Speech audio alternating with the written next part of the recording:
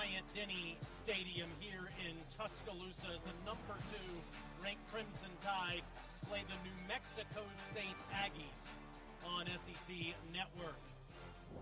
It's the 13th season at the capstone for Nick Saban, and he's rewritten the standard in college football. Tua Tagovailoa is making his own history at quarterback in his own lane in the Bama record books. He has a quartet of talented receivers led by the explosive All American Jerry Jeudy. Is the Tide in New Mexico State here on SEC Network. And with Matt Stinchcomb, the College Football Hall of Famer, I'm Taylor Zarzour. Alyssa Lang's on that steamy hot field. You'll see her in just a second. So you got a lot of experience that we just talked about, but we have some fresh faces here for the Crimson Tide this year on the field, on the sidelines, and in the press box. Ten different players making their first start for Alabama last week versus Duke. And it showed at times because the veteran presence at quarterback and at wide receiver had to overcome some of the youth that you saw on the field, especially for Alabama's offense. When you look at the number of new entrants, new faces, 14 true freshmen playing, and seven new coaches. So it's not just the guys on the field, but it's as they prepare for games that's kind of changed. A lot of turnover amongst the coaches as well. Yeah, and some of those new faces are on the offensive line. So how does that affect one of the best quarterbacks in America? Well, it's not always a clean pocket, and it's not also just the offensive line in the game versus Duke, you see on the edge, Alex Leatherwood gets the start at left tackle. This isn't really his bust. Really, the back is supposed to cross read. Jerome Ford's got to pick that up. Tua is showing his playmaking ability, heading play by the quarterback. Nice push here by the rebuilt offensive front. Just follow your blockers. You've got a veteran returning running back in Najee Harris. Doesn't do a great job there. And then a bust with the new faces. So the offensive front compromising the Tide's ability to convert on a third and one, a tackle for loss. It took Tua Tagovailoa, it took Jerry Jeudy, and his colleagues at wide receiver to help pick up that offense last week versus Duke can the backs and the offensive line assert itself here today versus the Aggies? For more on Tua and the people in front of him, let's go to the field and Alyssa Lang. Yeah, you guys mentioned that offensive line full of new faces. So is the tight end room, and so is a couple position groups when it comes to the defensive side of the ball. Shane Lee and Christian Harris, two linebackers who we weren't expecting to see start at linebacker for the Crimson Tide this year. Going into all those new faces, Nick Saban's focus this week, he preached mental focus, making sure his guys were dialed in, not taking any opponent for granted. Having those young guys, of course, 18, 19 year old guys wanting to make sure they are focused and ready to go. The staff certainly looking for a cleaner start than they had last week.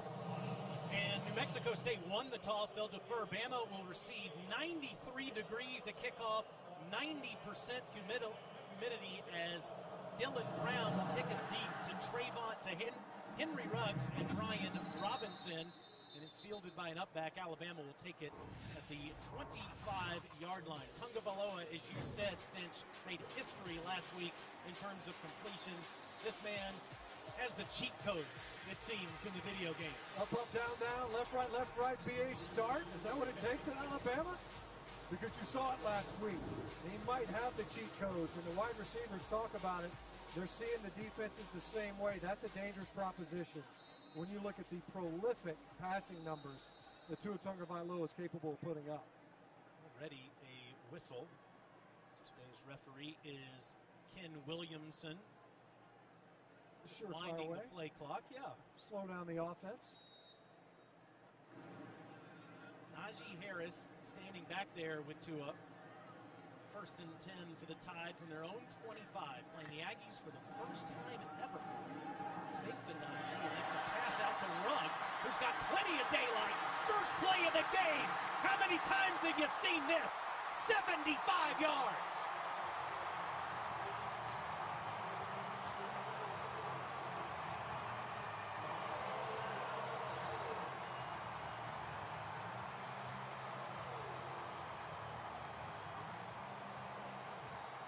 Interesting note about that play, Stinch. It was called a rush, not a pass, as Tua threw it behind the line of scrimmage. It's going to kill his stat line. Got to be disappointed. So Ruggs is the replacement now at running back this season for the Crimson Tide. Will Reichard, the true freshman, in for the extra point, and just like that, 7 nothing Crimson Tide.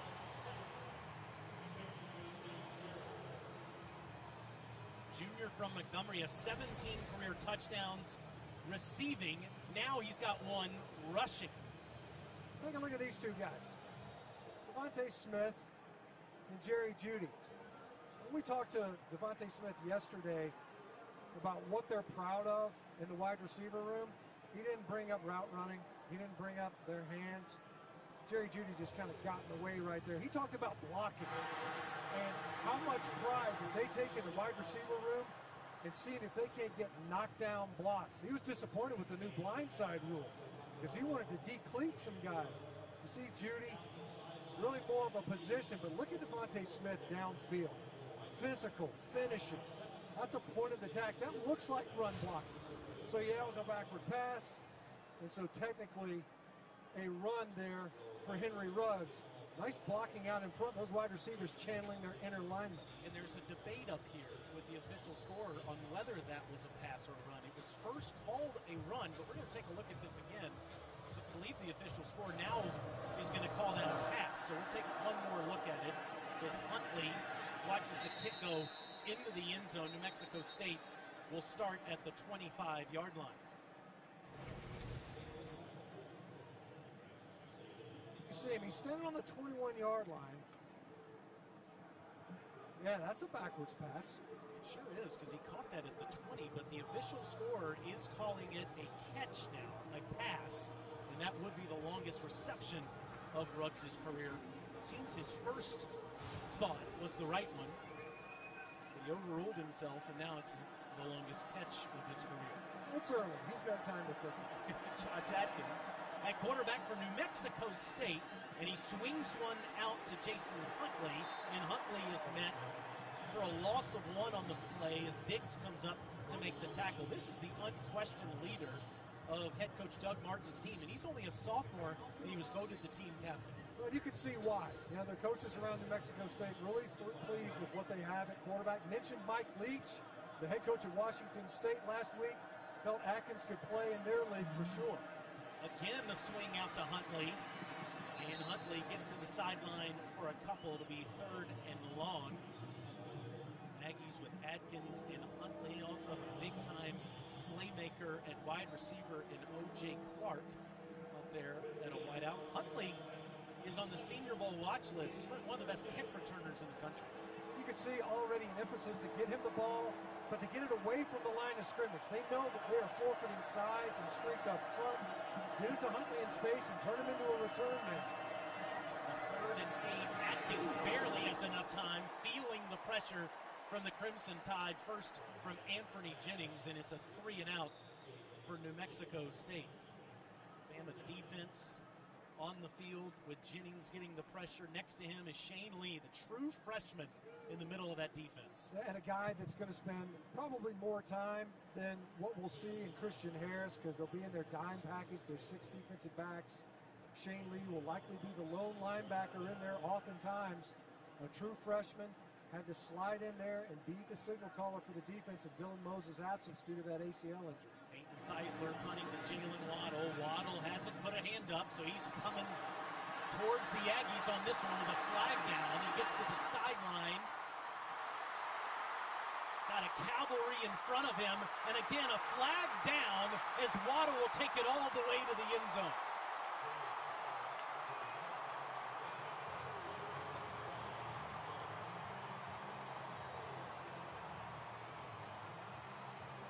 Seventy-seven-yard return for Waddle, with a punt return for a touchdown against the Raging Cajuns last year. But this one's coming back. Carrying the return, block in the back, receiving team number 28. Two-yard penalty, first down. It's Josh Jobe, the defensive back, who had a couple of pass interference calls go against him last week. So the Tide will be back on offense. They've only had one play so far.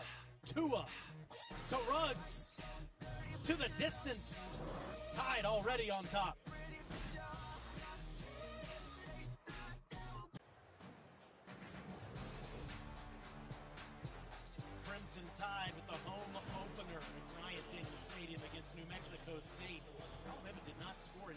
Last three games in the first quarter. Look at the difference the rest of the game last week once the quarter hit number two. No trouble today as they've already have a touchdown. And now Jerry Jeudy's open in space, staying in bounds.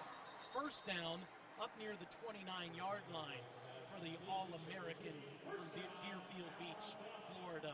All kinds of questions about the offensive line Stinch. Bama played four centers last week. Now Landon Dickerson starting at right guard last week versus Duke, starting at center here today After the high snap. Najee Harris takes it across the 30-yard line. He's starting at center in part because Chris Owens was questionable going into the game.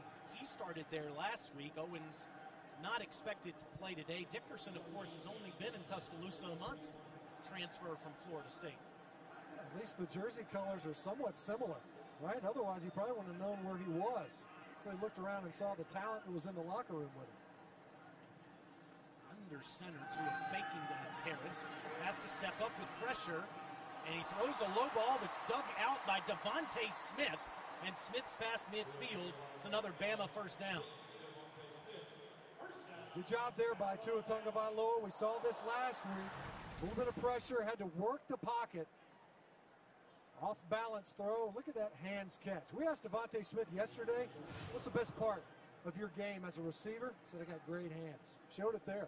22 yards on that play. Now quickly to Ruggs. And Ruggs is ahead to the 45 yard line. We're still having a debate up here about whether that was a pass or a run to Ruggs for that touchdown. And they are now saying it was a run for Ruggs. So it's a 75 yard touchdown run for Henry Ruggs that started the scoring here today for the Crimson Tide. Here's what I know for a fact is it was a catch. Argue the rest of it all you want. Nice run after the catch, as it were, too. There's something that Coach Wiggins, the wide receiver coach here, says, I'm not going to coach you on that. We don't have to with this receiver group. Second and eight, it's Harris. Straight ahead. Much running room there as he's met a collection of Aggies at the 44-yard line. It's Jamarvin Hartfield that was the first to greet him. Well, they're being active up front is New Mexico State, and they're without their best player their interior nose tackle, Roy Lopez, out with an injury. They're saving him for later on in the season. But a couple of rundown stunts, confusing the blocking scheme up front, some loose hats right there at the point of attack.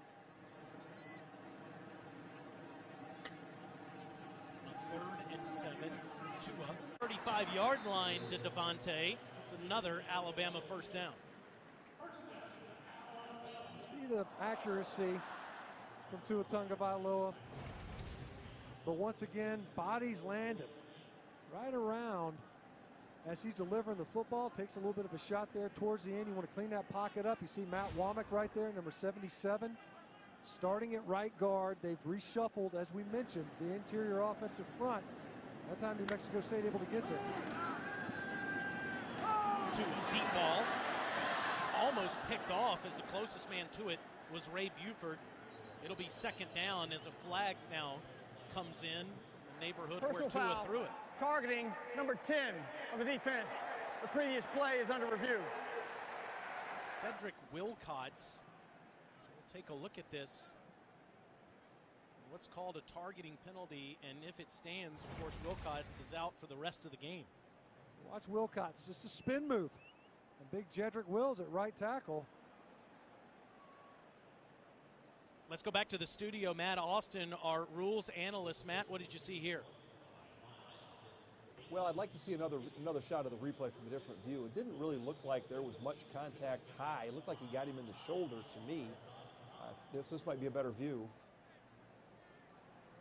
It looks like he comes in. It looks like all the forcible contact is to the the shoulder pad. Uh, I don't see any real attack. Uh, he is defenseless, but I, I, really don't see a high hit. I, would be uh, I'd be shocked if they could if they stuck stood with this call. And, and Matt, this is part of the new process, right? Because right now you throw a flag on the field, and then the targeting foul is officiated by the replay official here in, in Bryant Denny, correct? With the luxury of seeing it from all the angles. That's exactly correct. Yeah. That's right. They start with pretty much a clean slate. They can do whatever they want to do with it. Replay official today, Mickey Haddock. The observer is Daniel Boldrick. TV liaison to Tom Danner, and of course back in Birmingham in their phenomenal command center, led by Steve Shaw and the rest of the Southeastern Conference crew. They'll certainly have every single look at this play and see if the call on the field stands, if Wilcots in fact is thrown out, or if After he's back further in. review, there is no foul for targeting. It's second down. Mr. Austin got it right, so Cedric Wilcots still allowed to play the rest of this one. And without Roy Lopez, Cedric Wilcots is their best defensive lineman. That was a nice spin move that he worked on Jedrick Wills to be able to get right up field, get into Tua Tagovailoa's face, forced a bad throw, but a clean play by number 10. I like this change to how the targeting foul is being officiated. It makes a ton of sense. Let number 10 keep playing. So now a second and 10. And the handoff to Brian Robinson. And Robinson around the left side is met out of bounds by Lomax after about a gain of eight or so. So it'll be third and short. And also, Javon Ferguson is on the sidelines. This guy led the country in tackles last year, and he's got an injury to his left hand. And you see, he's got a little cast that he's wearing underneath that glove, I believe, today. So he's limited as well. Yeah, minus a playmaker like him, a sideline to sideline type of player. We just saw an outside run. Now a third and two on the red zone fringe. Robinson, the big bruiser, plows for that should be a first down for the Crimson Tide, local product from Hill, Hillcrest High School, 226 pounds. And we're all wondering, Stinch, who's going to carry the mail for the Crimson Tide this year when they play LSU, when they play A&M in Auburn with the loss of Josh Jacobs and Damien Harris. Yeah, and Trey Sanders, right? A true freshman. Lost him due to injury, a guy that they thought might be able to carry on the mantle. Najee Harris, the top returning running running back. They need him to run with a little bit more toughness. Good job there by Robinson of picking up the yards needed to convert. The 21, clean pocket for Tua to the end zone, touchdown. Jerry Jeudy again.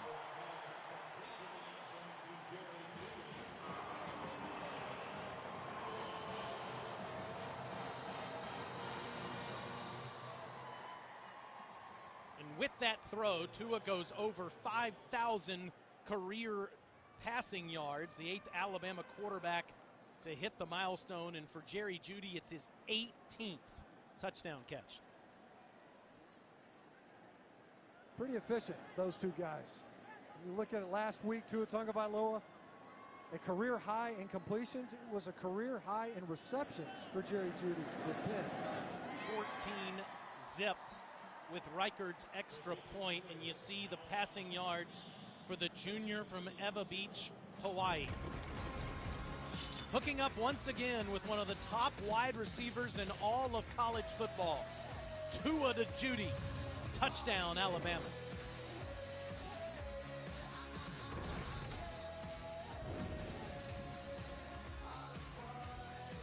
Already 14 0 Alabama over New Mexico State after Jerry Jeudy, with 10 catches last week, gets his first touchdown in T Town as a junior. How about Tua Tagovailoa's numbers when number four is on the field? They look different. It's almost like he gets even better.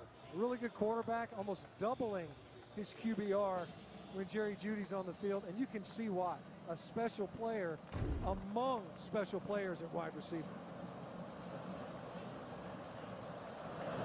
Kicking, kicking off and punting for the Crimson Tide.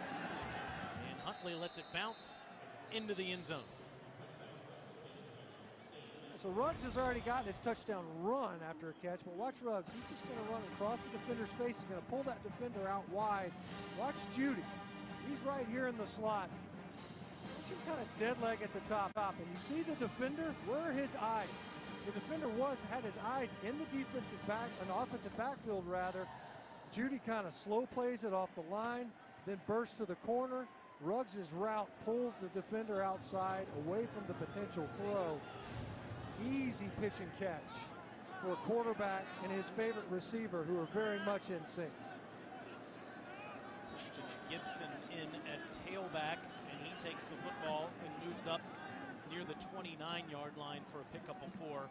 It's second down. We've been talking about the fresh faces for the Crimson Tide. Shane Lee, number 35, the true freshman in there for the Tide. The freshman from Burtonsville, Maryland. Dylan Moses is out for the season, injured in practice. Josh McMillon also out for the year. This guy pressed into action, played well against Duke in his first game. It was a really clean game. A true freshman starting versus a Power Five opponent, Duke, new quarterback, and they played lights out. They opened up in the flex bone or wishbone look, something they didn't anticipate. The inside linebackers for Bama did a great job. Tackle on fourth down in the first quarter. Second and seven, pocket collapsing for Adkins. He gets rid of it. That's a first down throw to Drew Dan for the Aggies. Let's go back to the studio and our good buddy Dari Nowkhah. Boys, thank you much. How about A&M Clemson? Big third and 15 for the Aggies. Late first quarter, Kellen Mond swing pass to Cameron Buckley. Gets inside the 20 for a first down. Drive results in a field goal. Three zip Aggies in the second. Big one that we'll be paying close attention to throughout the afternoon. How about that Michigan Army afternoon? How about that Michigan Army game? There were Unreal. multiple overtimes today before the Wolverines survived. Fumble to end it. Otherwise, ooh man, you talking about the Big Ten taking a hit. Wyoming comes away with that one. First down and 10. Gibson is up near the 38 yard line where he's tackled by LaBryan Ray and DJ Dale also in on that play. Raekwon Davis, as you see, big time defensive lineman. DJ Dale is a co defensive lineman of the week. He's also a true freshman. Just another in a long line. You know, last year, coming into the season, it was, golly, how are they going to replace Da'Ron Payne? Well, they had a kid named Quinnen Williams. He was pretty sporty on the defensive side of the ball, went third overall to the New York Jets. Days for a lot of offensive linemen and coordinators. And now DJ Dale stepping up, plays great with his hands, good leverage inside. Comes Bama on the blitz. Quick screen to Huntley. And throws the wheel up near the 45 yard line where it'll be third and short. That's where New Mexico State's going to make their living today. And it makes a ton of sense, right? Get the ball outside to Huntley. He's a guy that can play in space. See if you can't maintain some possessions. You're down two scores. Doug Martin, who's the head coach and also play caller, he gets what he's up against here today. Try to see if you can't move the sticks. You've already gotten a conversion here. Maintain this possession. Of course, you want to score, but you also got to try to keep your defense off the field.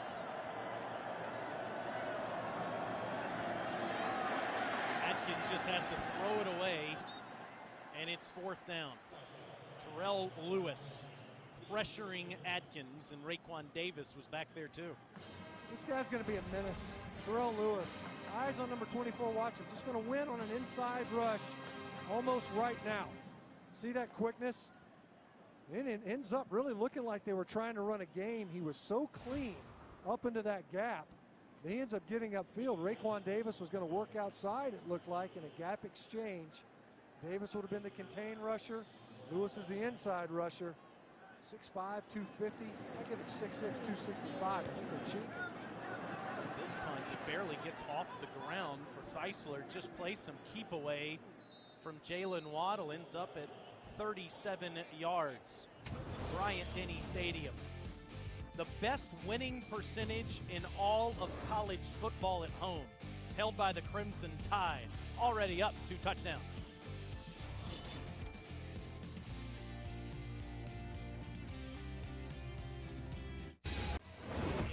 Saban era, Alabama's receivers have been All Americans. Julio Jones, the number six overall pick, just signed a massive contract with the Atlanta Falcons yesterday. Amari Cooper, statistically, is the best receiver in the history of the program.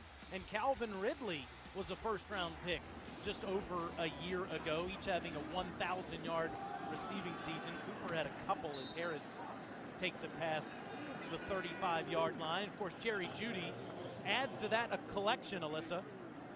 Jerry Jeudy's one of those guys that I think is the envy as far as wide receivers go of the rest of college football, right? I mean, he's super speedy, he's super quick, very athletic, and who better to find out how good the wide receivers are than the secondary they go against every day in practice? Trevon Diggs said that they feel like they're one of the best secondaries in the country just because of the level of wideouts they go against every day in practice. Yeah, could you imagine? You talk about iron sharpening iron. When you get there to game day and they're finding out the DBs, they were saying, look, you know, sometimes we don't even play the ball right in the air because we're in phase. We're step for step with the receivers we're playing on game day. We're usually in recovery mode a lot of times. We're out of phase in practice. We got to remember we can play the ball in the air because we're actually at where the reception's intended to make. The toughest competition they're facing is Monday through Friday. After a couple of Harris runs, it's third and four.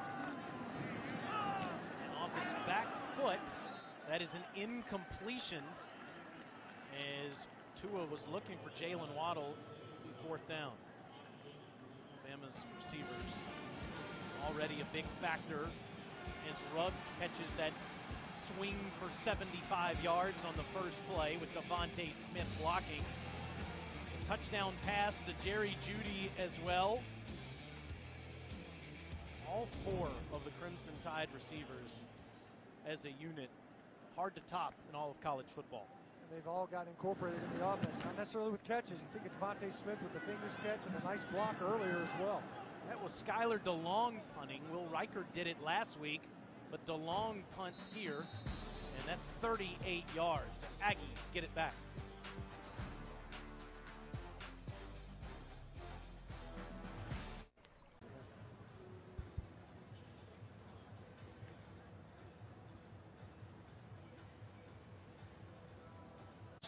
Dangerous with his legs, rolls to the left and throws. 30 yards later finds Justin Ross. Clemson leads it 6-3 pending the extra point. Game went down to the wire, Dari, in College Station last year as Clemson hung on, won by two points. This might be the stiffest competition the Tigers see all year. Look what happened to Syracuse oh, out today. Might be, yeah. Syracuse got gutted by Maryland today. They were ranked 21. Won't be today. They were ranked 21. Won't be next week. Throws underneath, or he makes the catch, or excuse me, OJ Clark makes the catch there. That's a loss of one on the play. It'll be second down. Shane Lee was there to make another tackle as the Tide's already up 14 zip. 14 true freshmen played for the Crimson Tide last week with 10 new starters. Second and 12, it's Huntley and he has no place to go. It's third and long. Good luck in the middle of that Alabama defense. Raekwon Davis, the first to him. It was interesting talking to the coaches yesterday and how the defensive front needs to play some of the zone schemes. They'll see a lot of it. It's a spread offense, an air raid type offense at New Mexico State. And how oftentimes you see some of these zone runs, they run it opposite where the back is lined up the defensive front has to cancel gaps because you've got so many defenders out of the box doing a good job of stopping the run early. Adkins throws behind his intended target, Clark. It's another quick three and out for New Mexico State.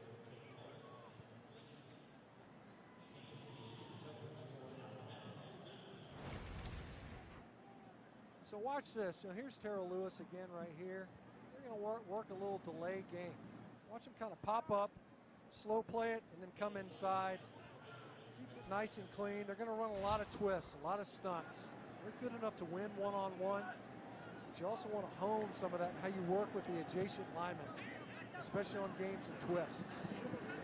Punt away from Waddle again. Good job by Theisler, and this goes inside the 20-yard line. Marked down near the 16 It's a punt of 55 yards. Coming up tonight, 7:30, it's our Saturday night matchup as Arkansas travels to Oxford, take on the Rebels. Then on SEC Network alternate channel, we have Eastern Michigan versus Kentucky. To find the SEC Network alternate channel, go to secnetwork.com. Razorbacks and Hog and Rebels. Remember the Rebels came way back in that game in Little Rock last year to win. And you may be thinking, Eastern Michigan, Josh Paschal had to block a punt against EMU two years ago in order to beat the Eagles by less than five in that game. So who knows? Maybe a good one there with Eastern Michigan tonight. Everybody in the SEC paying attention after what Georgia State did to Tennessee. Two up, just a bit too long for Jeudy, second down. Let him just a hair. No, you're, you're right. You see some of these teams, the way they start, somewhat slowly.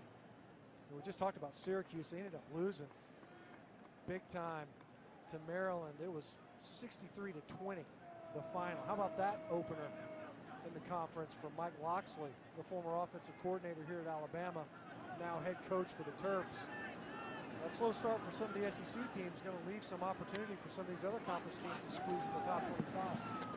To a quick throw to Jeudy up near the 19-yard line, and Coach Saban has used what happened to Tennessee last Saturday as a teaching tool, saying after Georgia State's victory, nobody thought the Panthers and Shawn Elliott, who won two games last year, were going to go into Knoxville and come out with a win. Everyone should pay close attention. He even referenced what happened here in 2007 with Louisiana Monroe.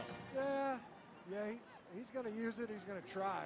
I got to tell you, it's a little bit of different circumstance here at Alabama, I think, than, than what we're seeing with some of these other programs. 2007 was a long time ago. goes through two receivers, and it's almost picked off. Jeudy and Waddle had a hand on that, and so did Shimon Lomax. It's fourth down. Dropped by Lomax. He ended up closing, but that ball just kind of bounces off Jeudy. Three straight targets by Tunga Tagovailoa trying to get the ball to Jeudy. He came off, ended up looking like Henry Ruggs was underneath that route, or Waddle rather. He disrupted a little bit of Jeudy's concentration. Otherwise, that's likely a completion. How about Frank Spaziani and New Mexico State's defense forcing back-to-back punts against this offense DeLong with the flag down. It's a much better kick. It's a fair catch after a 41-yard punt. There's Frank Spaziani, the defensive coordinator for New Mexico State, former head coach at Boston College, has been great friends with Doug Martin for a number of years. In fact, Doug was his offensive coordinator at BC. So, in turn, he came out to Las Cruces to call the defense. Kicking team. Five-yard penalty will be enforced from the succeeding spot. First down. That's a couple of penalties now. We got a knock in the back earlier. Job with another penalty on punt team. Punt return, now punt team. Yeah, Spaziani you know, he was the defensive coordinator at Navy right before Saban got there, and Saban was talking about, I think, did he end up buying Spaziani's house? They did live together, I think, for a little while as Spaz was trying to get out of Annapolis before he went to Charlottesville. It's pretty neat the connection the two of them share as Adkins is alone in the backfield on a first down. He's trying to run away from DJ Dale and throws it into the sideline. So in 1981, Navy defensive back coach. Look at Spaziani in that hair. Still has the same mustache. See, 38 who, years ago. And then the following year, Stinch, middle of that photograph, there he is in the back. That's Nick Saban. How about that?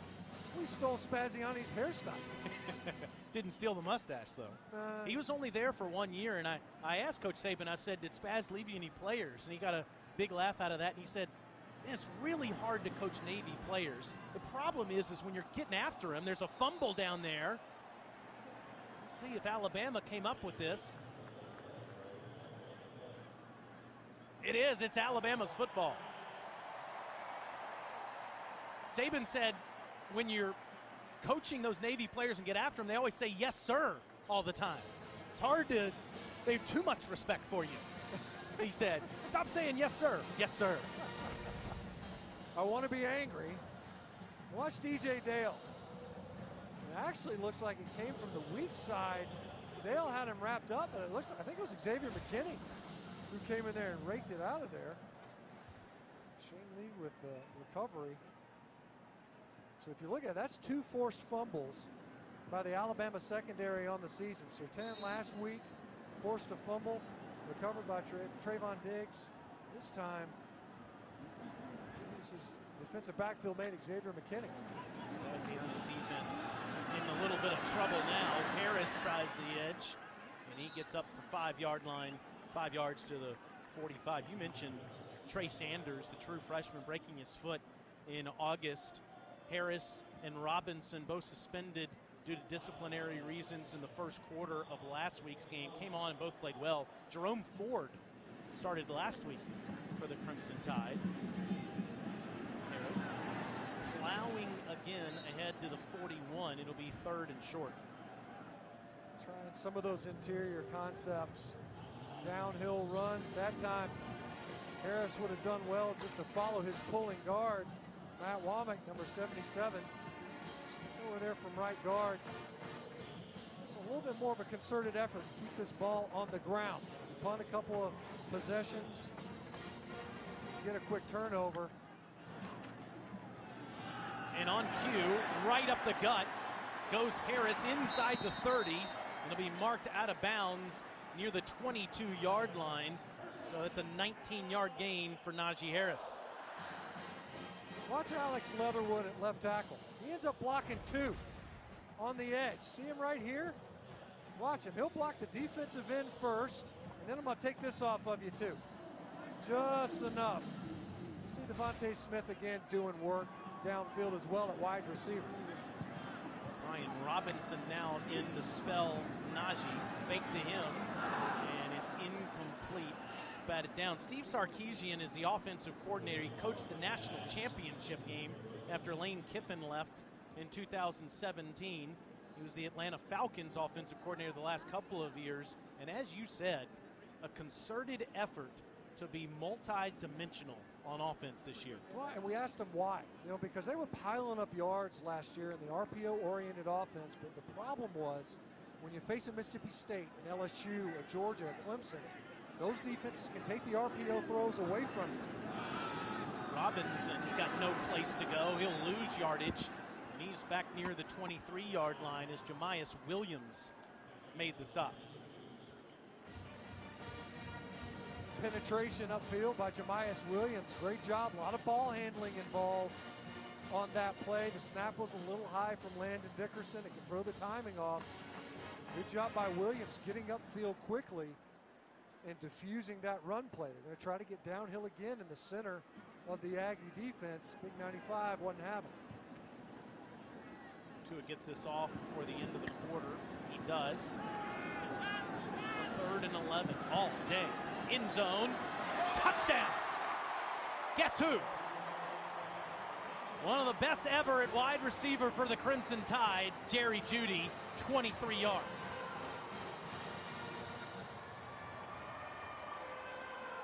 You said it all day. Great protection. You can't stress a secondary. I don't care who Alabama's playing for that long. You got a clean pocket. Tua's able to buy time, just kind of sliding around in the pocket before he finds his favorite target, Jerry Jeudy, and another Alabama touchdown. That's a great recovery on a third and 10 plus after a tackle for loss in the backfield.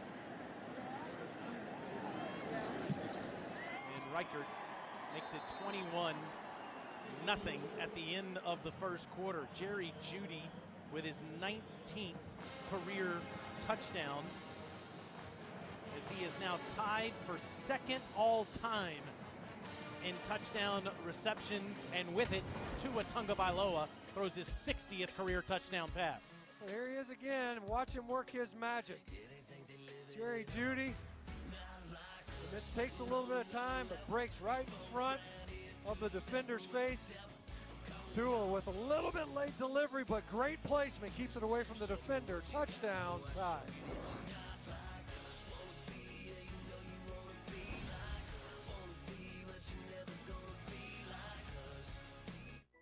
Jerry Jeudy moving up the record books in Crimson Tide history now with his 19th touchdown reception, giving the Tide a 21 nothing lead. Let's check on some other scores. Go back to the studio in Dari. Yeah, Taylor, a bit of a surprise right now in Athens. Of course, don't expect it to hold. But Georgia taking on Murray State. Eli Wolf catches the pass, gets hit.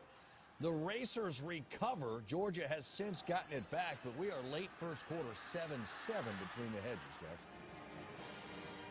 Uh, upset alert?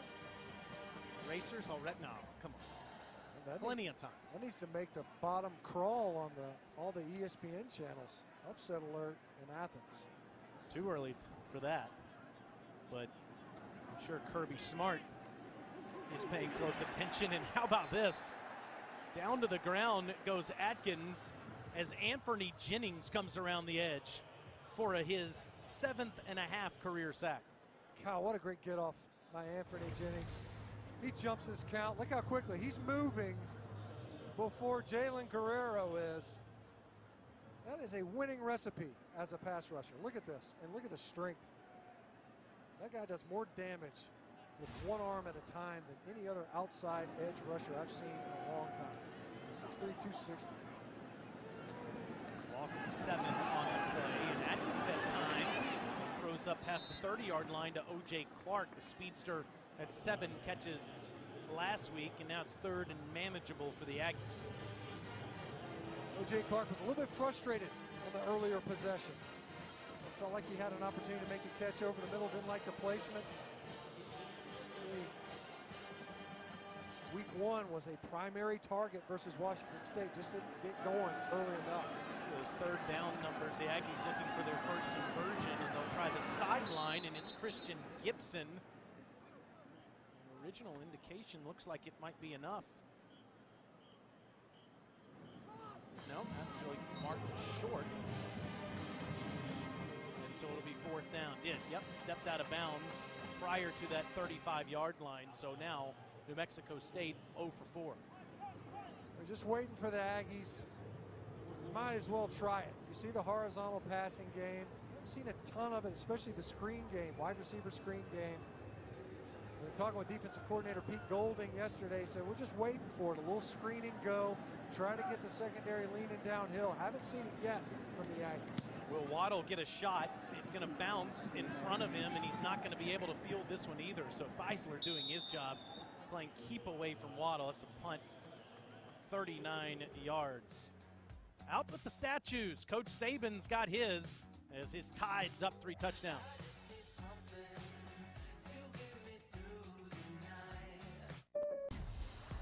Bryant Denny Stadium, constructed in 1929, capacity 12,000. By the time they got to 1966, they'd added end zones and capacity was up to 59,000. In 1988, they added a west side upper deck and some spiral ramps as well, so they got it to 71,000. But still at that point in 1988, Alabama had a big game. They were playing it at Legion Field in Birmingham. Auburn, Tennessee, Penn State, Notre Dame, homecoming weaker opponents were played here as Tua finds Ruggs, and Ruggs is past midfield, and he's out of bounds inside the 40 yard line. But massive additions were made through the years. In 2006, the North end zone upper deck and club level made the capacity 92,000, and by nine years ago, it was over 101,000 people in this place, and now it's one of the best atmospheres anywhere. I guess. I mean, still no air conditioning? A little hot, a little warm today after that big catch from Ruggs. Now Brian Robinson takes it inside the 25-yard line, but boy, do they have an advantage in this place. Look at their winning percentage, the best in college football. Pretty remarkable. You talk about this fan base. They're out here cooking to watch this game. An 831 win percentage here. That's pretty darn impressive. It's not just numbers, right? It's how the fans engage in the game. You, know, you hear it. So there, there it is. First down, everybody chants, roll tide, the fan engagement. These folks get it, and they can impact the outcome of games with their involvement. As you said, this is one of the hottest games this stadium's ever seen. Look at the temperature and what it feels like. 103 degrees as Robinson's up to the 20. Alyssa, it's got to feel hotter than that down there. Yeah, guys, it feels a lot hotter than 103 down here, that's for sure. I can say the equipment staff is working absolutely overtime as far as restocking with ice. They've got some contraptions that the guys are wearing on their heads that are like those things that you dunk in the water and then they feel really cold. So I'm trying to find myself one of these on the sidelines, but I did talk to the head uh, team trainer before the game today asked if they did anything specific as far as hydration. He said, nope, it's just something we've been working on all week long preparing for the heat out here today. Legal substitution. Offense, number eight in the formation. Five yard penalty. Second down. You know, those things will drive Coach Saban crazy, but they've taken all kinds of precautions today as there's extra water stations all over the stadium. They said, look, if you're hot, go to the concourse. And I'm looking right now. The concourse is packed around this place at the moment. Plenty of refreshments as well on the sideline. 13 Aggies at least momentarily looked like they were coming it to up. Taking the play clock all the way down to three Tua wanted to throw the home run ball. Slings this one down to the sideline. It's incomplete for Jeudy. It's third down. Let's go back to Dari in the studio. Uh, yeah, you got it, TZ.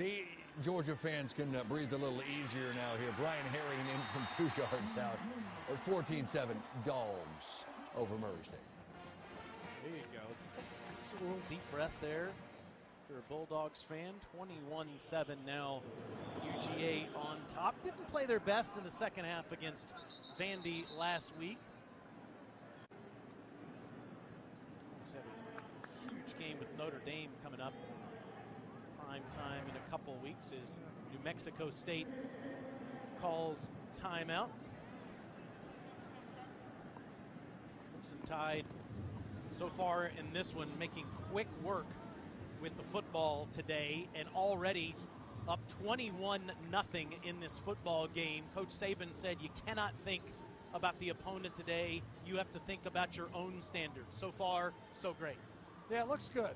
And you talk about the wide receiver position and how it's asserted itself. Now you've got a new offensive line line up once again. Chris Owens not able to play there. In there at center, Landon Dickerson sliding over from his right guard spot. There have been some hiccups from a protection standpoint. The run game at times has been spotty, but the playmaking ability of the Alabama offensive skill position, it is not abridged at all. It's not even impacted really. Even the special teams, we saw a near punt return for a touchdown brought back due to a block in the back. There have been a couple substitution penalties. These are all things that can be cleaned up and ironed out. Defensively, it's largely been smothering pretty solid performance and one that you would have anticipated coming into this game. 14 runs, 14 passes.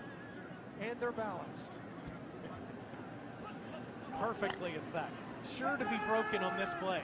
Third and 13, and Tagovailoa throws the runs, and after the catch, he gets up near the 10-yard line. It's going to move the chains, too, after a 15-yard gain, first down. I love these wide receivers at Alabama, man. They, they once they make the catch, they're running backs. It's like they got a running back mentality. New Mexico State brings the house. You come out there, hit Ruggs on the stop route, and then he just lowers his pads, running through tackles, picking up three and four yards after contact. How does Alabama look as they get near the goal line? We've seen Ali Cahoe, defensive player, come in as they get inside the five. Won't have to worry about that this time. Just a pitch and catch with Ruggs for his second touchdown.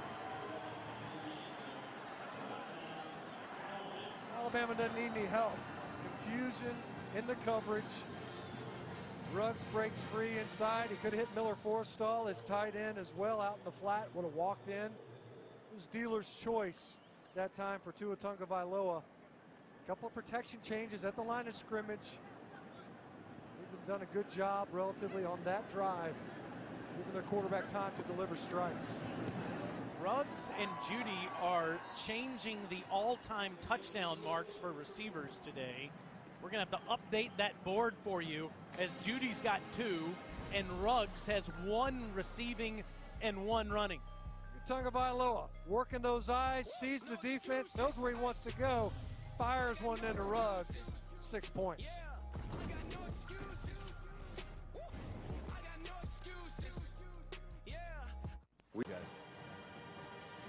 Stabler in, in T-Town, my friend. Yeah, there's one snake. Pl- uh, Plummer certainly the man out in the desert. In the desert, Jake Plummer just kind of fell off the earth, didn't he? No, I think he's still on the plane. Is he still somewhere? I've lost track of him. As uh, Christian Gibson past the 25-yard line for a few. Second down.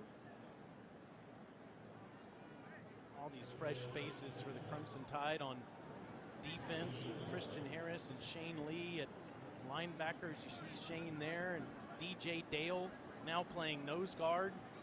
Just the second game of their careers.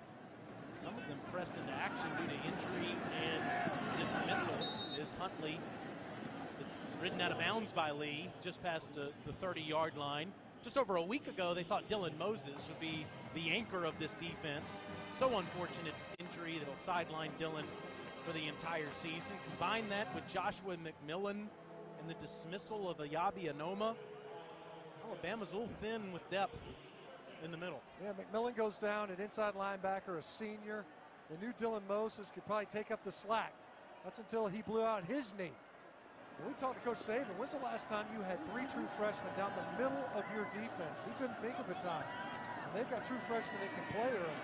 35 Alabama was off sides here. It's a free play for Adkins. Looked like a defensive back came across before the ball was snapped. Offside, defense number seven. That penalty will be declined. Result of the play. Trevon Diggs here, Stinch, at the bottom of your screen. I see him right. You think he was going to try to jam him? He couldn't wait. Ready to throw a punch almost right before that snap. Trevon Diggs, we visited with him yesterday. Stefon Diggs, little brother, a hamstring issue for the Minnesota Vikings, may or may not be able to play in the opener. They talk every day, Trevon said.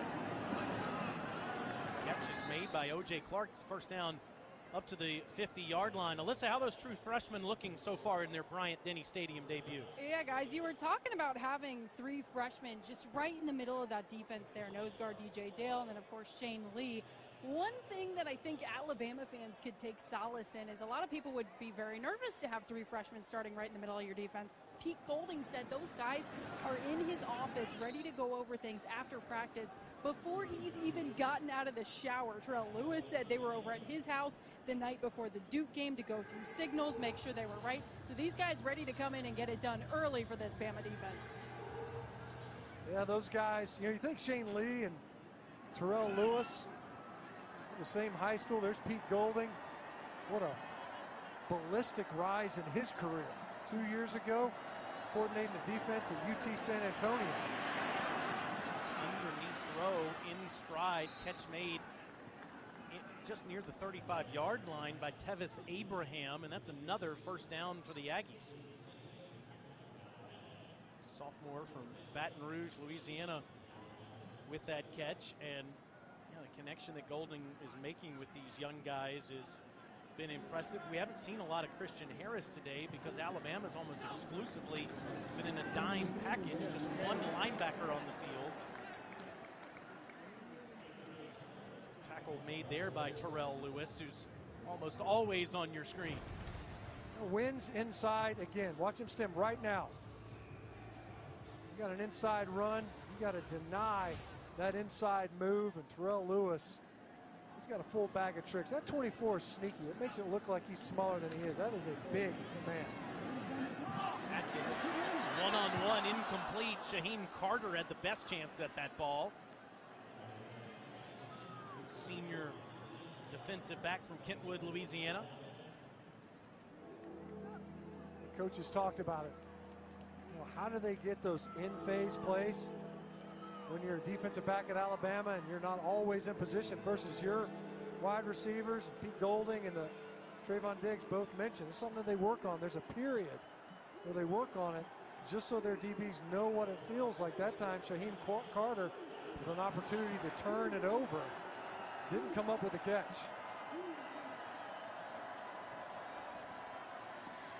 On third and 12, lofts one, picked off.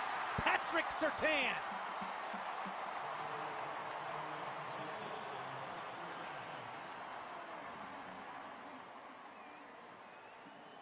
Just like his father, one of the more heralded defensive backs coming out of high school, lived up to the billing last year and is off to a hot start in 2019.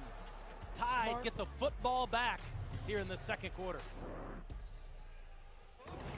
History of SEC football is chronicled in our eight part documentary, Saturdays in the South. Tuesday at 9 Eastern, episode 2 will take you from the Great Depression through World War II and into the 1950s. Saturday in the South, only seen on SEC Network and the ESPN app. National champions in 1930, Wallace Wade, 34 41, Frank Thomas. 34 team had Don Hutson, that man that's got a statue outside, Paul William Bear Bryant. Excited to watch that. First one was fantastic. How about the history of Southern football and the Sewanee Tigers? Yeah, Purple Tigers. Winning five games in six different days in 1899. They did a great job chronicling that. That's some aggressive scheduling. That would definitely warrant a playoff consideration at the end of that season. Can you imagine? Second and seven. Tua Tagovailoa, easy throw to Jalen Waddle, and he gets past the secondary up near midfield. Now, I don't want to play favorites with the wide receivers here at Alabama, so don't let them know that I said this, but Jalen Waddle, I enjoy watching him with the ball in his hands, maybe more than any of them. Not that the other guys can't handle themselves, because they have, but it's like he's just got another gear. He's a great return man. We saw it earlier. He just squirts through that secondary. Why would you not want him to know that I he's said the other guys. I want the other guys. You're all jealous. 29 yards. As Tua has been showing these wheels off in the first couple of games as Harris makes the catch up to the 40 yard line. There are no lingering effects with the knee for Tua. He escaped the pocket numerous times against Duke last week to avoid the sack and showed the wheels off there. moving well and delivering it to what is said to be a really good receiver out of the backfield in Najee Harris. Something that Coach Saban went out of his way to point out. Only had four catches a season ago. But what a great receiver number 22 can be for the. Fake Najee. O to Jeudy. Right near a first down marker at the 30 yard line. It's easy money. Really soft coverage. It's an easy access throw. Well, in the opener, Tua looked out there, thought he had a quick now pass, just stand up, flip it out there. Jeudy was thinking something else.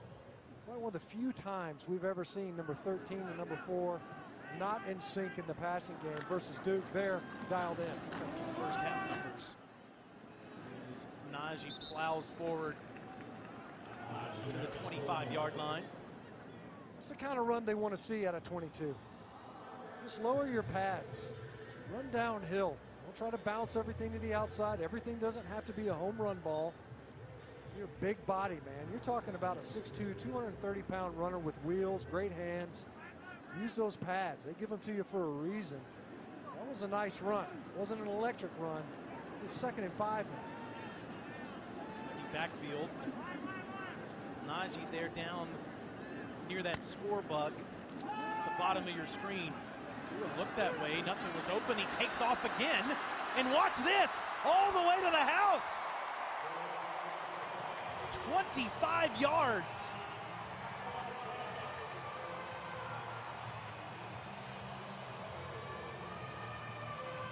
Tua probably has Henry Ruggs for a touchdown, but the pocket wasn't that clean.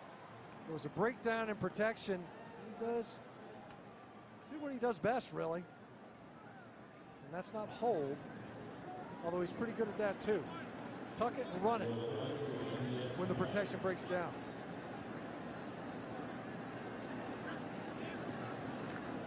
Reichard makes it 35 nothing. Tua doing of things. Pressure, nowhere to go with the ball. Why don't I tuck it and do it myself? Crimson Tide, 35 to nothing.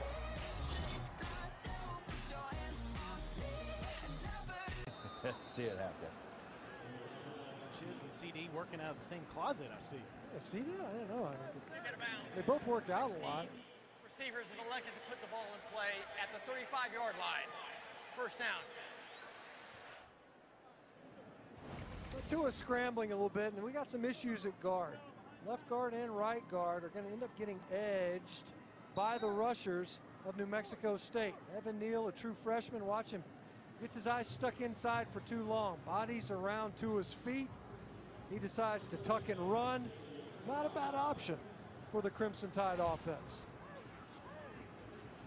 25 yard touchdown run. His first rushing touchdown of the season. He's got eight now in his career. Of course, everybody remembers that 44 yard scamper in Baton Rouge on one knee, I might add.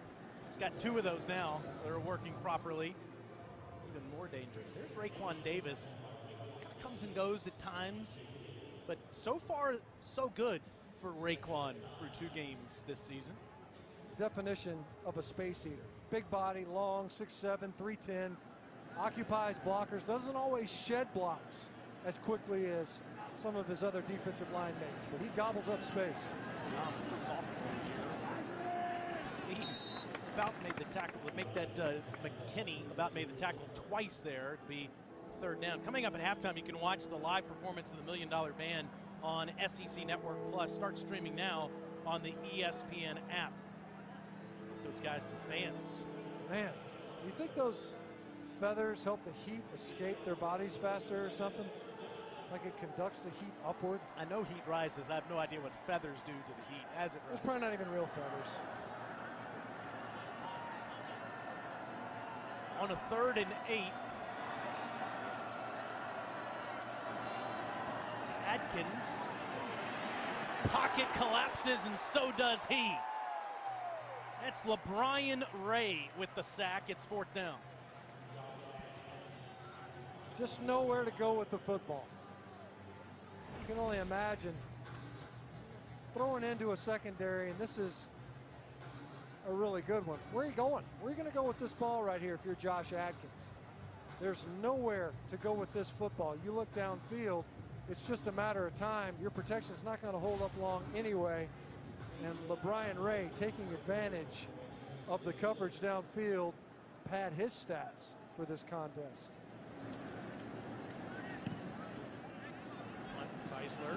This is fielded by Waddle, who is standing about 15 yards closer this time. Desperately wanted a shot. Now he's going to go to the other sideline. Now watch out.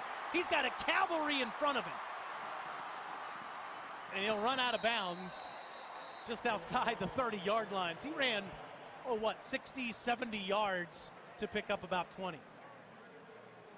Yeah, I mean, the width of the field's what? Just north of 50 yards. Nobody went close to 100 yards right there. watch where he catches this, right? So he's on the numbers. So he's going to run other, all the way to the other numbers.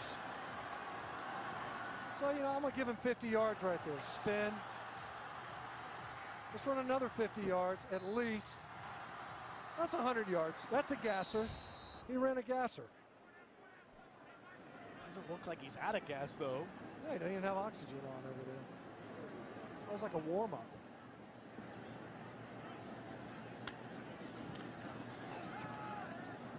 Tua. It's incomplete to Jeudy. Second down. Jeudy covered up that throw. Looked like that could have been a backwards pass. It been a live ball. we saw earlier, Ruggs ended up being a backwards pass on the touchdown run, quote unquote. First offensive play, that ended up being just barely a forward pass and a completion for Rugg, no gain. Ruggs still the rushing leader in the game. 75 yards on that one carry. Tua, home run ball again. Too far for Tyrell Shavers, sophomore from Lewisville, Texas. Not sure about that read by Tua. Maybe got a little bit greedy. Mexico State had a midfield safety ready to play that thing underneath. Ended up double coverage there in the end zone. Taking a shot downfield. I hadn't seen a ton of those. Not a lot of shot plays. We asked some of the players, even Coach Sark, going to be calling those shots, those downfield shots. They said that they were called. The defense took it away from him versus Duke. This one at the line of scrimmage. Just let Jeudy create. And he gets upended at the 30-yard line by Ray Buford. Nice open field tackle. It's fourth down. What was it? When we talk about these receivers turning into running backs, Ray Buford, great job coming up, making a tackle versus a receiver that is incredibly difficult to get on the ground. That's Jeudy. He went with a, he tried to do the dead leg right there, just kind of dead leg him a little bit right there at the edge. So it sets up a fourth down, and Will Reichard, who was 0 for 2 last week, he hit the right upright from 49 and the left upright from 48. Coach Saban is big on this guy. He's got a cannon for a leg, and from 47, he makes his first field goal as a member of the Crimson Tide.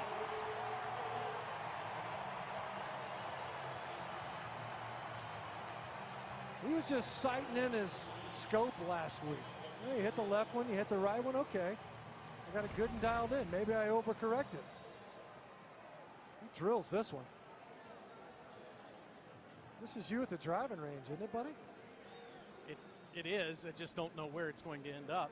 I don't know why you use your foot in golf. It's so strange. Coach Saban was the first guy to pat him on the butt last week when he came off the field. He said, I just love how much distance this guy is getting on his kicks. Hit both uprights. It's not the worst thing in the world. If you're wa- way off, it's one thing. Alabama's obviously struggled in the kicking game for years, but they think they have found their answer with this true freshman from Hoover, Alabama, who's also kicking.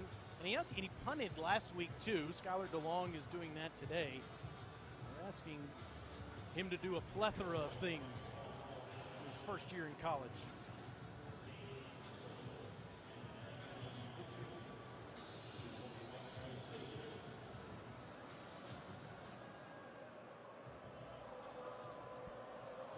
One oh four to go in the first half.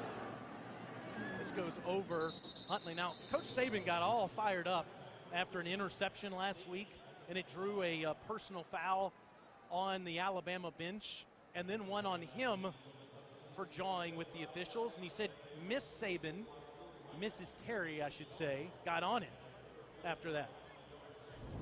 Did you have to do any extra running this week because you got a 15 minute penalty in? Uh, Miss Terry made me run on a tread, treadmill for 20 minutes. Um, the, the leadership group had a meeting and they wanted to implement some disciplinary action, but um, it, it kind of got overruled. What about the old veto stamp, huh? First and 10 run goes to Gibson for a couple. You know, I like what he said, though, after the game.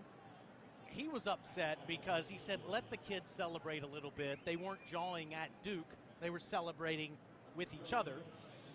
But he did say he got a little too worked up, and he says it's the first time in a long time that he's drawn a personal foul.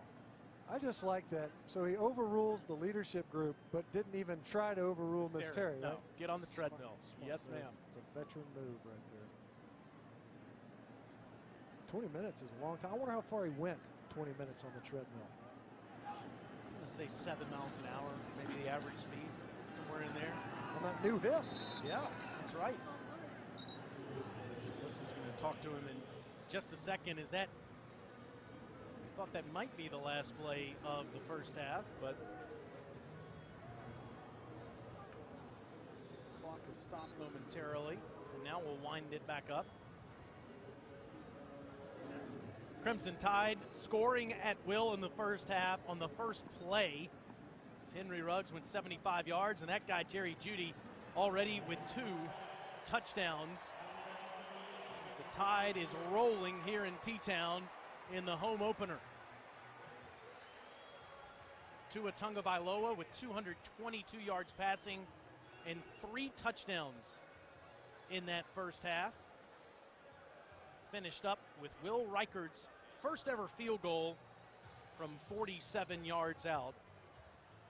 Grand total of 38 nothing, and Alyssa's with Coach Saban. Coach, a couple of quick touchdowns for your offense. How would you evaluate their performance this week? Well, I think we started out fast in this game, which is something that we wanted to do, but we kind of lost a little bit of our intensity and didn't execute as well. But I mean, you can't complain about scoring 38 points, but you know, I still think we're not as sharp as we need to be in the passing game. Your defense as well, some three and outs, and interception. What did you think of their performance? They've done well so far. You know, we're playing a lot of just five guys in the box and split safety coverages, so we don't give up anything. And the front's done a really good job of stopping the run, so we don't have to put an extra guy in the box. Thanks, Coach. It includes a lot of fresh faces on that defense, helping pitch the shoot the shutout. It's 38 zip here in Tuscaloosa. Crimson Tide on top. Now it's time for the Auto Owners Insurance halftime report with Dari Nowkhah. It is rolling in its home opener in Bryant Denny Stadium. 38 zip over the New Mexico State Aggies here on SEC Network. Let's take a look at our Star Watch for today, brought to you by State Farm. Jerry Jeudy to a Tunga all the receivers. Tagovailoa hitting in stride today. This was just a ridiculous throw by Tagovailoa. Seemed somewhat pedestrian, and then later on ends up tucking and running for his own rushing touchdown. He played a role in the first touchdown scored in this game. Actually had to throw what looked to be a pass. Ended up being a long handoff, we'll call it, a backwards pass. 14 of 22 for 222 yards. that's pretty sporty and spreading the football around. Ruggs getting in there, Jeudy getting in the end zone a couple of times, and Tagovailoa also contributing on the ground. What more do you need out of the quarterback position and the wide receiver spot? They're blocking like crazy. They're running the football. They're completing passes downfield.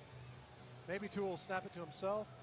I don't know what else he's going to have to do in the second half. What about that new offensive line and some fresh faces on defense for the Crimson Tide today? Yeah, they've looked great. And especially when you talk about controlling the box up front. You've got new faces, a true freshman, and an interior defensive tackle spot. And of course, Shane Lee playing that MAC linebacker position in a lot of the dime packages, doing a great job of shutting down one run offense the Aggies have been able to get going. It's been an impressive half of play. Mexico State gets the football first. Saw two of his numbers in the first half with those three touchdown passes and one rushing. Might see some Mac Jones, you would think, in the second half, and who knows, maybe even Taulia Tagovailoa came in in the fourth quarter. Doug Martin's New Mexico State Aggies down 38 zip at the half and trying for the first touchdown here in the third quarter. Adkins 11 of 17 passing for 60 yards. Did throw the interception to Patrick Surtain in that first half. Goes to Huntley, and he's ahead for a couple. Let's go down to Alyssa. Yeah, guys, I caught up with head coach Doug Martin coming out of halftime, and he said he told his offense, hey, we got to cut down on the turnovers. He wasn't happy with the turnovers in the first half. He told his defense, hey, we need to force some turnovers. Not unhappy with how his guys are playing, but saying if they want to have a chance, the defense has really got to get in there. It's his seventh season. Went to a bowl game in 2017. First time Mexico State had played in one in 57 years. They won, too, beat Utah State in the Arizona Bowl two years ago. But being an independent program is so difficult as you have to travel all over the country and play some of the best teams. Huntley staying on his feet, still not tackled, past the 35 yard line. Speaking of that travel stench, they're all over the grid. That trip to Wazoo, then to Alabama, Going to play Liberty twice, by the way. They have a home and home with Liberty this year. I wonder if that'll involve a dental chair. First and 10. And that is incomplete. Now, they're funding their entire athletic department by playing games like this against Crimson Tide and then playing Ole Miss later this year as they've played a couple of SEC schools on almost an annual basis. Didn't play one last year, but have two this year and have one on the schedule. As you see, each of the next three seasons will be back here in Tuscaloosa in 2021. Yeah, you know, payday games. And as you mentioned, you look at it concentrated, you know, across most of the southeastern portion of the United States. I'm talking with Doug Martin. He was saying, you know, we need to play games dangerous, especially when you've got a defender like Shaheem Carter bearing down on you. But we mentioned not being part of the conference. They don't have to share with other members of a conference, quote unquote, but they do have to share the funding across the athletic department. And they would love if they could retain the revenues that they obtain from one of these quote unquote payday games just for that football program. Haven't been able to accomplish that just yet. We saw it on the screen, the first ever meeting. It's kind of remarkable that New Mexico State, then New Mexico A&M started in 1894 Alabama started playing football in 1892, yet the teams have never met until today. Third and 13. Good throw, but catch is not made by Tony Nicholson as Surtain might have got a hand in there. Well defended by Surtain. You're right. You know, you would have thought by now that these two programs would have met, especially given the circumstances that we just described financially. But, uh, not on the slate coming up either you look at spreading it around the SEC, almost taking a tour. Fourth down, Peyton Theisler will punt. Now Alabama has made an adjustment with Theisler's short punts with Waddle as the up return man and Trevon Diggs back deep. This is Diggs waiting for a fair catch, but somebody got in his way and a flag is thrown. So while this is marked down near the 12 yard line, it's going to be a flag after what was a 55 yard punt. It's been a little bit of an adventure on punts today. An illegal substitution, a block in the back, bringing back a touchdown, and now another flag here. Interference with the opportunity to catch a kick. Kicking team number 20. 15 yard penalty from the spot of the foul. And here comes Tua in the third quarter. Yeah, I don't think we'll see him long. Go into halftime, push the fluids a little bit, see his numbers. Very efficient. And this is, you know, kind of, this is what he does. He doesn't play outside the third quarter, but he's got to maintain the trend of actually playing into the third quarter. well, maybe part of the reason why is what Coach Saban told Alyssa that just before he went in the tunnel is he wants to see a little more improvement from his first team offense, particularly that offensive line featuring three new starters. Trying to figure out who his best center is too, Brian Robinson. Breaks some tackles initially and is ahead for maybe a yard.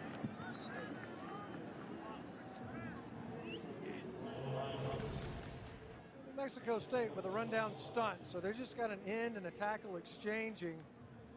Slowed things down at the point of attack. Clearly trying to run to the right side of the offensive front. Robinson gets stacked up, tries to redirect. Only picked up a couple of yards. Robinson just past the 50 yard line. How would you assess the offensive line play so far today? Yeah, you know, it's been up and down. I'm not sure that we're seeing what this offensive line is going to ultimately look like. I think we won't see that really until the Ole Miss contest when Deonte Brown comes back. We'll assume, I think, what I would guess that right guard position. We'll have to watch and see how Landon Dickerson does, who, as you mentioned, didn't get to Tuscaloosa until August, a grad transfer from FSU. You know, as he found a home at center, and then Evan Neal, who was a highly touted five-star tackle, who's gotten both starts at left guard. maybe that's what we end up seeing at Ole Miss. But I don't think we've got the personnel available on the offensive line just yet. Monte Smith short of the first down, as you see there, about half a yard. Tide offense staying on the field. Tua under center is just going to plow forward. An easy first wow. down for the Crimson Tide. Following those man eaters. You know, last week, and Coach Saban mentioned this, they had a second and one right before the first end of the first half. And the back just doesn't see the hole. It wasn't even a hole. Didn't even ride the wave. It was a surge. And then they had a third and one, and they had bad blocking on the backside, and they get blown up. They end up having to punt it away and gave up a field goal. You want to see those situational blocking, the rundowns. You want those reps. So you saw it there. You get a quick snap on a quarterback sneak. Smart, makes sense. Maybe hold your breath a little bit because it's your QB running into traffic. But that was a great surge. But again, you know, these guys up front, we don't, we're not seeing, I think, what we'll ultimately get from the Alabama offensive front. The only thing that they're forfeiting is game reps together. Until Deonte Brown gets back, if in fact he comes back at right guard, that chemistry is hard to develop just in practice.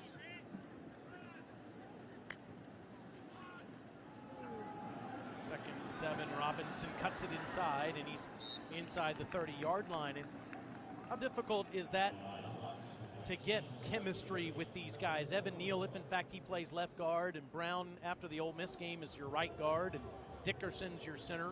Takes a few weeks. It does, and you have to have a good feel for how the guy next to you is going to play. And when you've got new faces in new places, that's hard to get established. It's a first down run for Robinson with Mac Jones warming that right arm up on the bench. Yeah, it makes sense. Get him in there eventually. But, you know, like right now, Jedrick Wills, only guy who's playing in the same position he was a season ago. Otherwise, nobody's played next to each other. And right now, you can see Alabama kind of getting the run game going. 195 yards. Now, let's remember, 75 of that was to Henry Ruggs on what was a, a backwards pass. Over 20 for two on the touchdown run. And it's Robinson. It'll be first and goal, Bama. Inside the 10 at the 8. Good patience by Brian Robinson. Good job by the front, covering up and getting some movement. you got Alex Leatherwood at left tackle playing next to a true freshman. They've never done that before. And the true freshman's playing next to a grad transfer in Landon Dickerson, who's playing next to Matt Womack, who's usually in there as an extra tight end and spent time at right tackle. Najee Harris back in after Robinson has gone the whole way on this drive.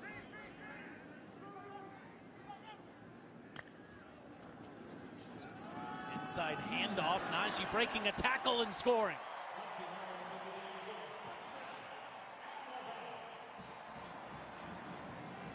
Simple inside read, pay dirt. Harris turning on the Jets. And he had to outrun some penetration. Watch this on the backside. This is going to try to be a cutoff block by Evan Neal. He doesn't get his hat across.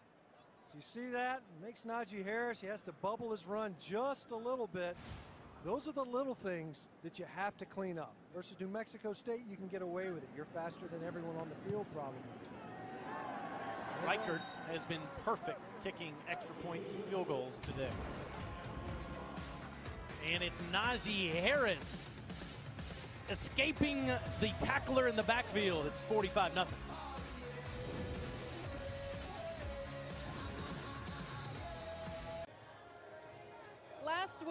Was a tough week for some teams in the SEC. On Thinking Out Loud, last Monday, we had grief counselors there to help you through your pain. Who knows what we'll have this Monday?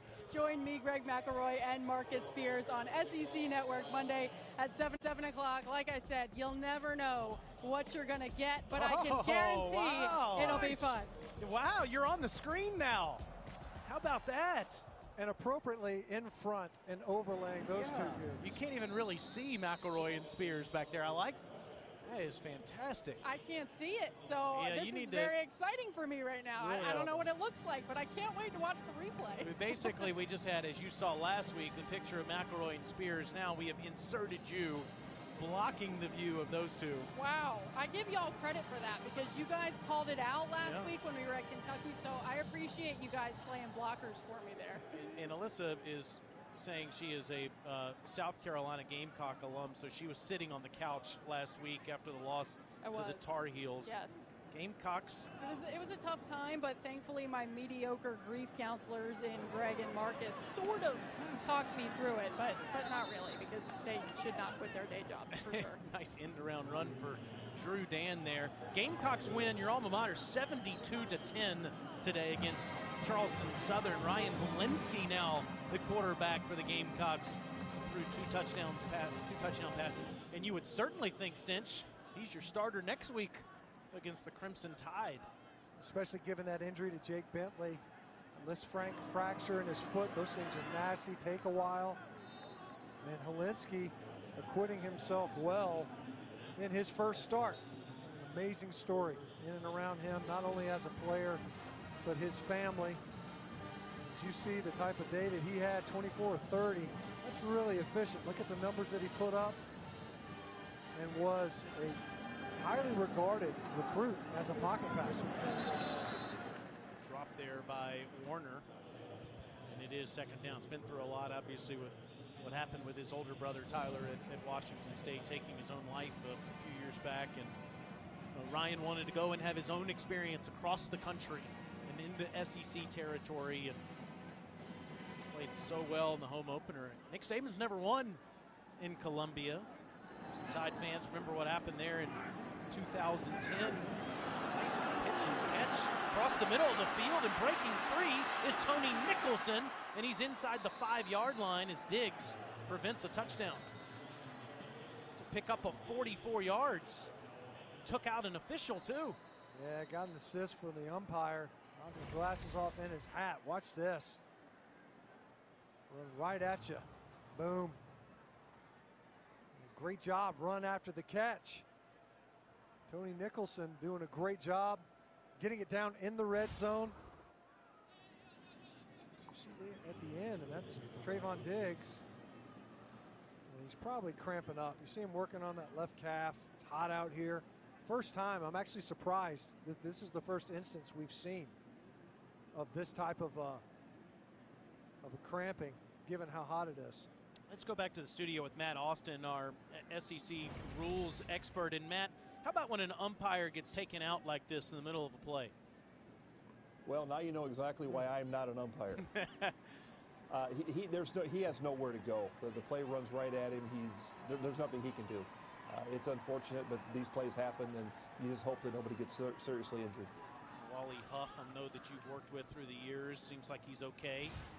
yeah, Wally's a tough one. He's going to bounce back up, I guarantee it. He got hurt. He got hit last year and was bleeding, and still got up and finished the game. So he's a tough one. Jobe running into Wally there, and yeah, Trevon being carried off the field. His mom Stephanie's here today, watching him play. They're hoping that Stefon can play for the Vikings tomorrow with that hamstring injury. We're going to watch it together. All right, now Crimson Tide defense will try to protect their own goal line.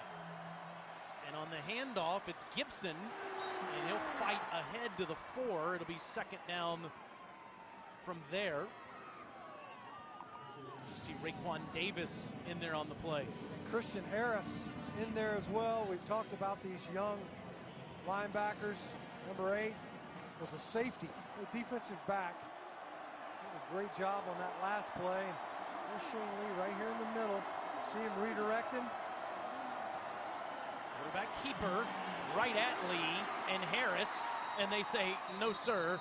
It'll be third and goal. You just said it. Harris was a defensive back. You look at this guy. He was 6'2", 240 from Baton Rouge, and he's playing defensive back in high school. You think you'd want to catch it over the middle with him playing safety? I would not. Return kicks, played a little receiver. An athlete. Pressed into service, though, as we've mentioned, due to those injuries. Josh McMillon, a senior, Dylan Moses out. Shane Lee and Christian Harris taking up the slack. In an empty backfield, Adkins surveys the whole field, throws it out to Huntley, makes a man miss, and into the end zone he goes. Touchdown Aggies.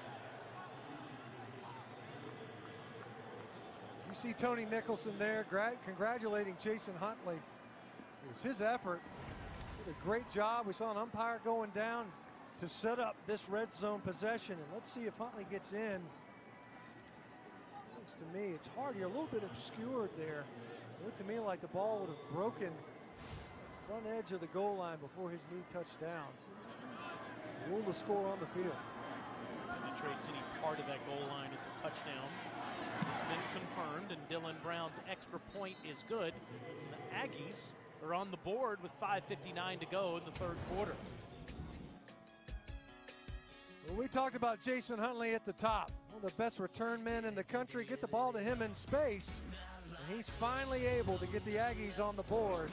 But the Tide are up 45 7.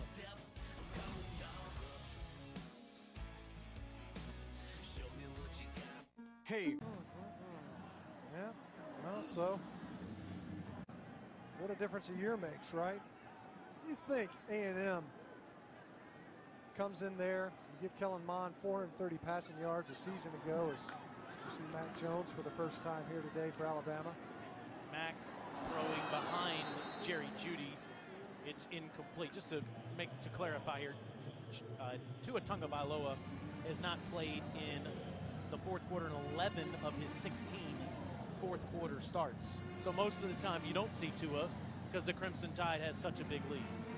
And you know, something that offensive coordinator Steve Sarkisian kind of alluded to where he said, I liked in some ways that there was adversity versus Duke in that first quarter, scoreless first quarter. We want to see him be able to overcome that adversity. We were able to do that. Second and 10. Hits this one in stride to Waddle it's a first down into New Mexico State territory. Alyssa, tell us a little more about this fiery sophomore quarterback. Yeah, guys, I actually got to watch Mac Jones play a lot of high school football in Jacksonville. I worked there for several years. He went to the Bolles School and he led them to a couple of state championships. He was one of those players in the Jacksonville area that you just knew if he was taking the field for Bolles that Friday night, they were going to do something big.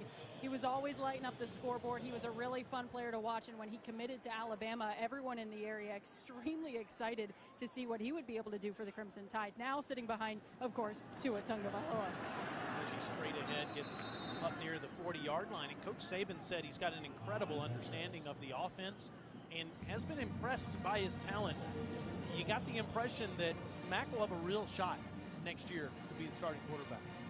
Well, he's certainly been around enough, and you've got to have some level of consistency. Now, I would like to think that the coaching staff won't turn over quite as much as it has in previous years, certainly the previous two seasons.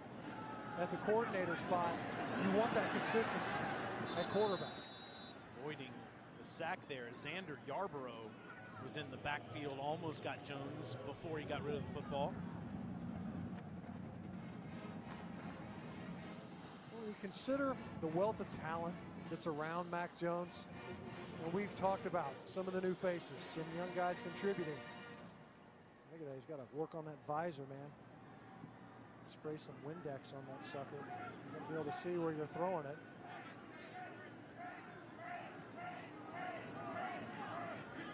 Third and three with Jeudy in motion. The handoff goes to Harris. He moves the chains inside the 35-yard line. We've been talking about all these fresh faces, primarily on the field. How about on the sideline and up in the press box? You got seven new coaches here in Tuscaloosa this year, and Pete Golding has moved from the inside linebackers coach to the defensive coordinator. Yeah, you know, some guys that have been familiar with this program before, Sal Sunseri and his second tour of duty here, same as Steve Sarkisian, who came from the Atlanta Falcons, along with Kyle Flood, the new offensive line coach. So there's familiarity amongst those coaches. Monte Smith, look at him changing direction there, and it's first down inside the 20 down to the 19. It's a pickup of 14 yards. Alabama offensive staff you see there on the sideline with Steve Sarkisian as the offensive coordinator did call the one game the national championship at the end of the 2016 season January of 2017 and a bunch more up there. Kyle Flood the O-line coach. Charles Huff now coaching the running backs after Burns did such an amazing job. And the wide receiver coach has got to be smiling as Holman Wiggins watches Jerry Jeudy plow in for another touchdown.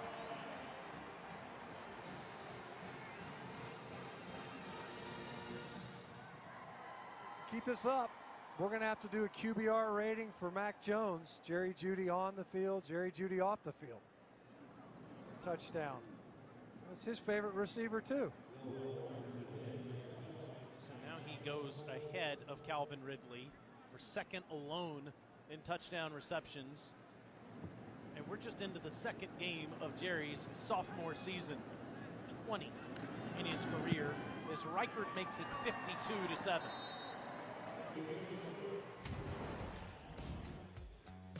Uh, Mac Jones, RPO action, stabs one in there to Jerry Jeudy, dances around a little bit just to make it interesting.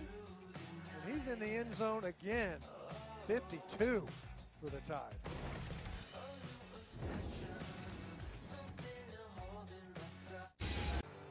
Mac Jones throws his second career touchdown pass. It's the third for Jerry Jeudy today, and you see he's climbed alone to second all time in most touchdown receptions. Henry Ruggs only a couple behind with four, tied for fourth now. First time Jerry Jeudy's ever had a three touchdown game. This on the heels of 10 catches last week against the Duke Blue Devils. Coming up tonight at 7:30 Eastern, it's our Saturday night matchup as Arkansas travels to Oxford to take on Ole Miss. Then an SEC Network alternate channel has Eastern Michigan versus Kentucky. Find the alternate channel, go to secnetwork.com. Razorbacks beat Portland State last week. Rebels lost to Memphis in the Liberty Bowl 15 to 10. Ole Miss did overcome a 17 point deficit to win that game in Little Rock last year. Who are you liking that one tonight? Rebels or Hogs? Ooh, man. I can't say that I'm chewed on that one very much. I'm going to go with the Hogs. Man, Rakeem Boyd, pretty special player. Took nothing away from Scotty Phillips.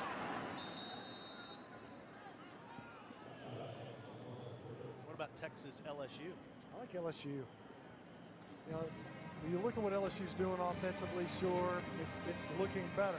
There's no doubt about it. Opening things up, Joe Brady coming over from the Saints. A lot's been made of that. Well, we saw it actually manifested on the field in week one. That's encouraging. I think that they can push on it. I think that they can build on it. Oh, Maybe on Mitchell coughs up the football, and it's recovered by the Crimson Tide as Josh Jobe has it. That ball was punched out. And it's that kind of thing is why I like LSU versus Texas. It's the 96th turnover force by the Bama defense since 2015. 96 of them. Three today.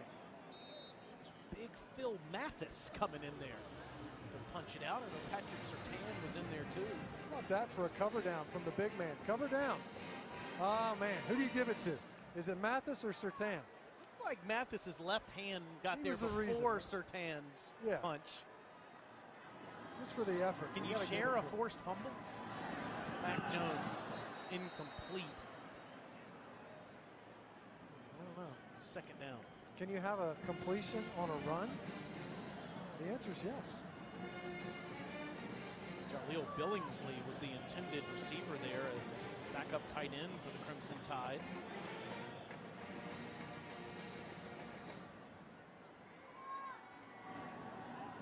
Ford, who started the Duke game last week, is in there at tailback. Takes the handoff.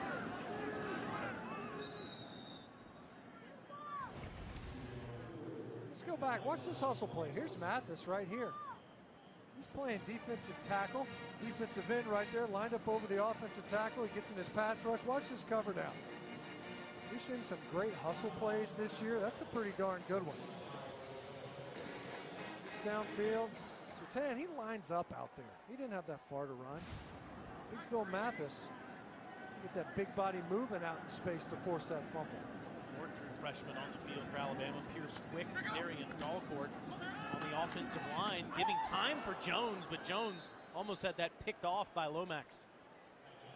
Jones took a shot right after he delivered that ball on a rope.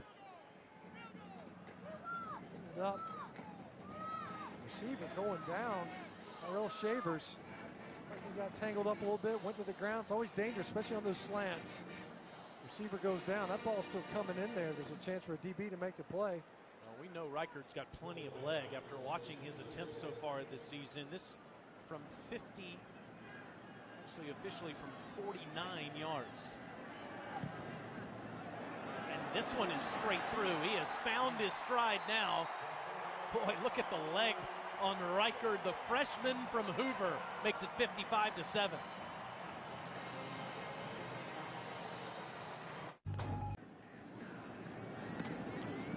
Against Sam Ehlinger in the running game for Texas tonight. Yeah, and they do a great job. You know, Ellinger, a big contributor in that running game, not scared to scramble. He's a physical runner, can finish those runs, pick up hard earned yards. But I like the fact that both those quarterbacks do an excellent job of protecting the football.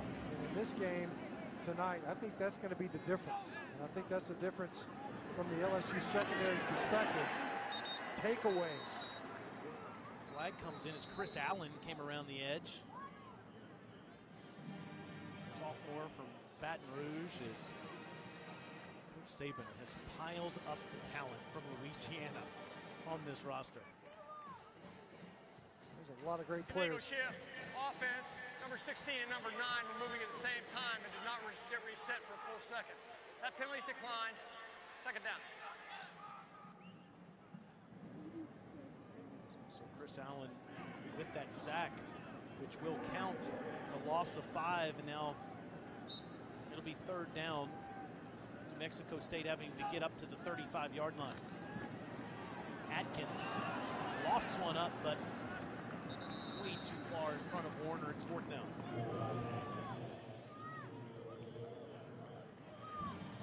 Mexico State goes back to the bench against one of the best teams in college football, a program that has reset the standard with all programs, with those five national championships that Coach Saban has won in his now his 13th season. Head coach here at Alabama, the dean of SEC coaches. So, again to Waddle. He's going to have a chance at this 35-yard line. It's difficult to bring this guy to the ground. His legs never stop moving, and he's out of bounds near the 41-yard line. So who are the teams in the SEC this season that can contend with the Tide? We each have our own list. We have the dogs at the top there. You think the Aggies are right there in the mix. Now, this was made before the Clemson yeah, game today. You know, uh, timing is everything. I, I, would say though that you know when you look at A&M when they pick them up middle of the season, they get a bye week. Maybe they show up. Look, last year they're able to play over their head. Georgia looks to be like they're going to be able to dispatch the Murray State Racers today. And of course, you know, look at Alyssa. Well, I like those picks, Alyssa. That makes a lot of sense. Just a reshuffling of what I was thinking. You know, everyone in the production meeting can be witness that I did not know your list before I was asked for mine, Stinch. But I'm kind of with you. I think A&M could give Alabama a run for their money. You know, I did not think that this uh, Clemson matchup would be exactly how it went down, but I look at LSU as one of those teams too. Looking at Joe Burrow and then the defensive side of that ball, specifically LSU's secondary. I think they're one of the more complete teams in the SEC. But I would think if any year could be the year, this might be it for Georgia. This might finally be the year that Georgia could get a win over Bama. Again, those are the other teams other than Alabama that can contend. There's a personal foul call, and Keilan Robinson takes the handoff, and he's got daylight. See ya. 74 yards for the true freshman from D.C.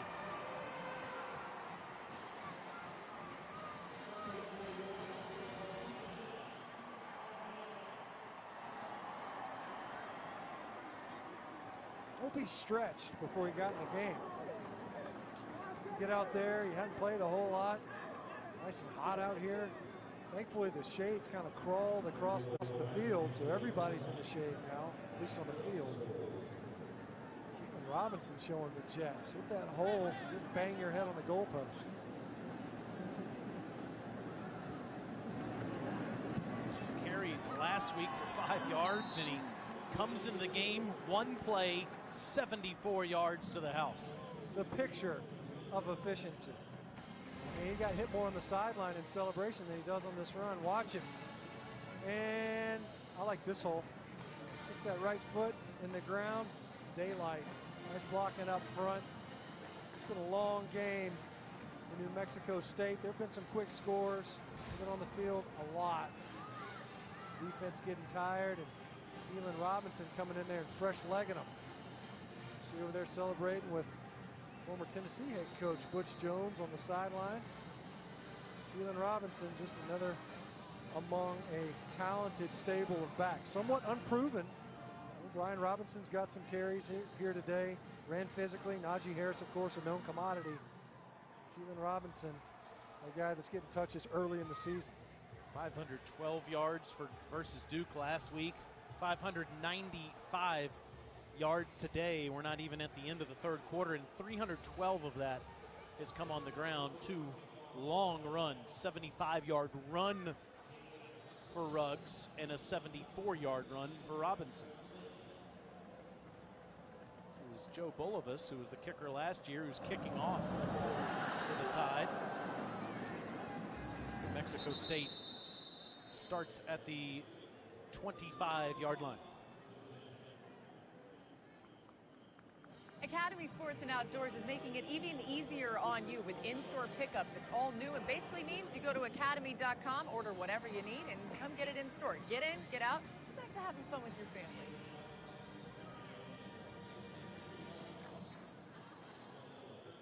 Keilan Robinson enjoying Alabama's 62 to 7 lead here over the Aggies near the end of the third quarter.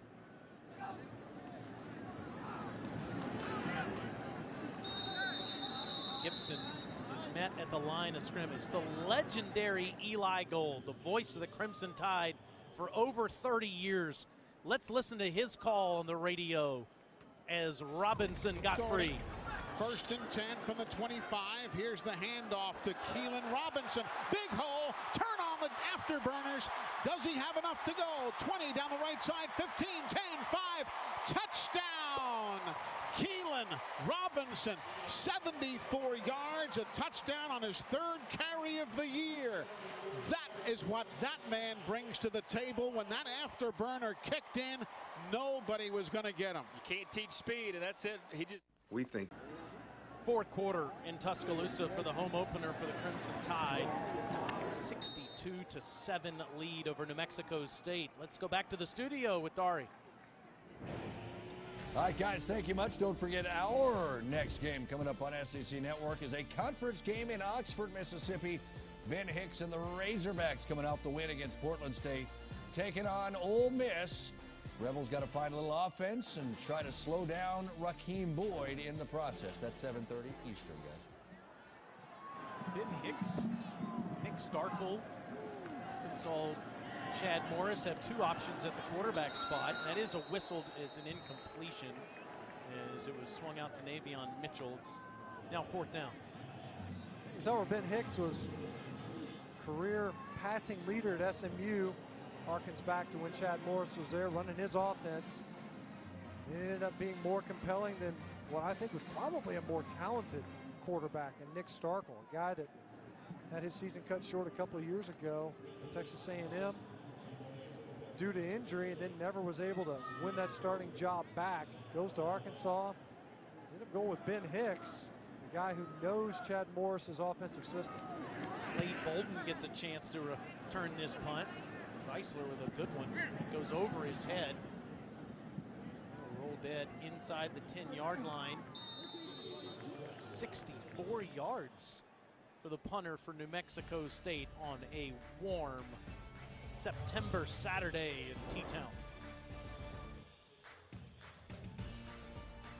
On a it is always a good time, and I'm sure this week we might talk a little bit about that punishment that Coach Saban had from Miss Terry for that unsportsmanlike last last week. He had to run 20 minutes on the treadmill, and I'm starting to think, Taylor, that when Stinch is late to our meetings, we enforce that same penalty on him.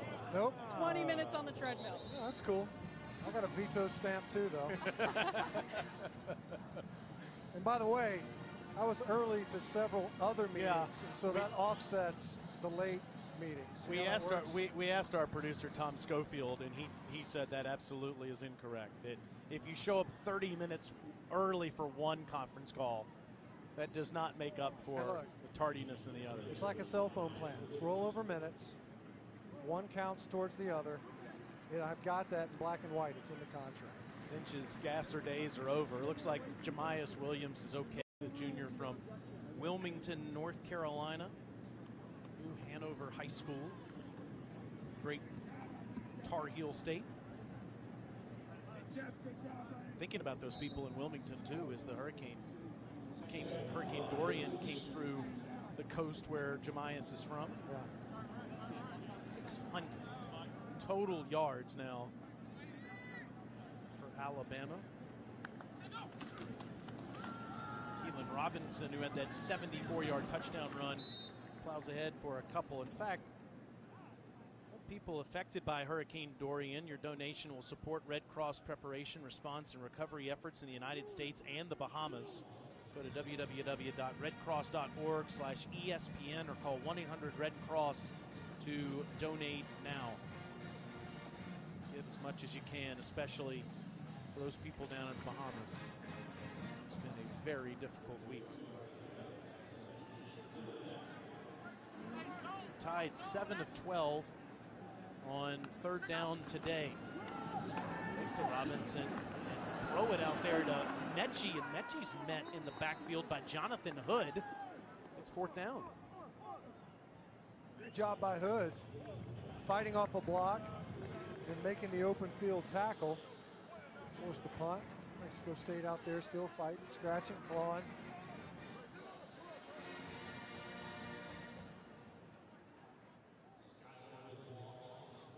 Coach Saban will get ready for the SEC opener with the Gamecocks next Saturday.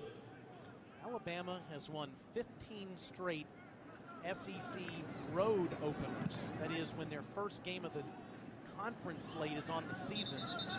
Won 15 in a row. O.J. Clark with the fair catch. New Mexico State back on offense for the Gamecocks and the Tide next week. On an all new. All the SEC flags outside Bryant Denny Stadium, including South Carolina's. Alabama and South Carolina haven't played a lot recently. Played in 2009. Last time they played was nine years ago. The Gamecocks had one of the biggest wins in program history, knocking off Alabama 35 to 21. Alshon Jeffery and Stephen Garcia had the games of their life that uh, day. Marcus Lattimore on that team as well as Matt Romero now in at quarterback. And New Mexico State running down the field. That's Josh Foley, the running back, with a big game for the Aggies. That's a 22 yard run, the backup tailback. About South Carolina's schedule this season. That's a real peach, huh? When you're talking about you just lost your starting quarterback, had a great day today versus Charleston Southern with the freshman in there, Ryan Hilinski.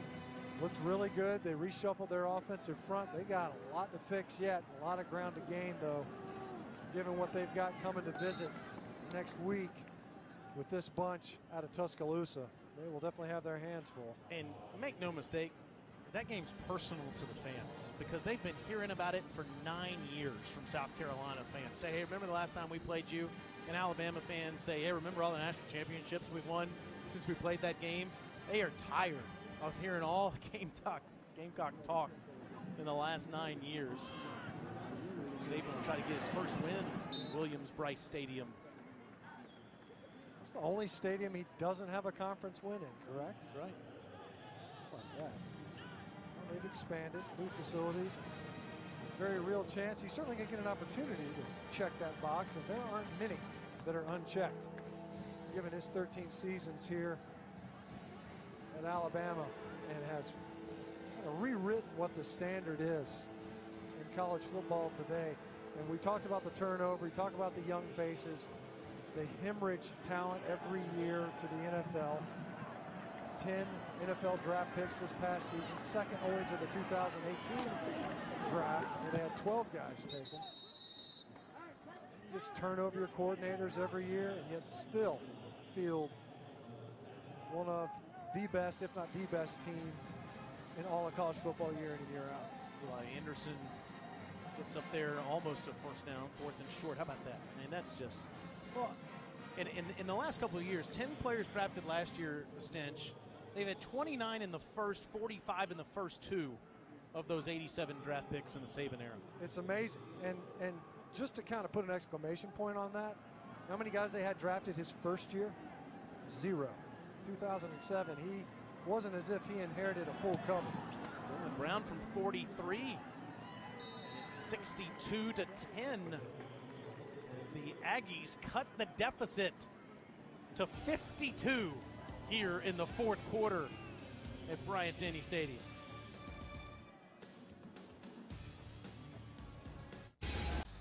Alabama pays tribute to all those drafted. Ha ha, Clinton Dix, part of that list. CJ Mosley as well. Jay Fluker.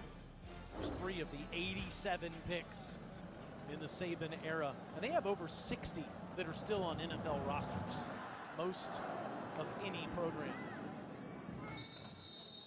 Back to the studio. Let's get an update with Dari. All right, guys, there are six SEC teams, or games, I should say, coming up. Seven teams to play since Arkansas and Ole Miss play one another. Bo Nix getting ready for game number two of his freshman season. Game number one ended well for him. Tulane Auburn will be on ESPN two later, guys. I think that guy's going to be cheering for Tulane. What do you think? I don't know. See that that outfit makes more sense given the temperature today. The other one, multiple layers and a hat, like a felt fedora. I don't know. It just Is that one of the turnover chains that he's got? He's got the old school logo too. turnover hat band. When Robinson is a 74-yard touchdown run in this game. Goes ahead.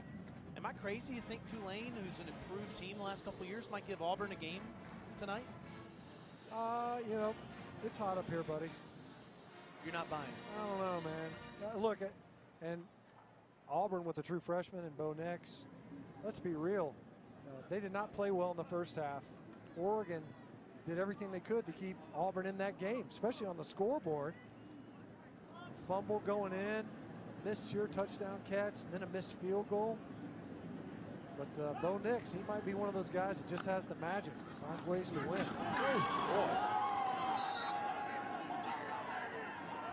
Big hit by Kamate Kofi. Fourth quarter, still playing hard.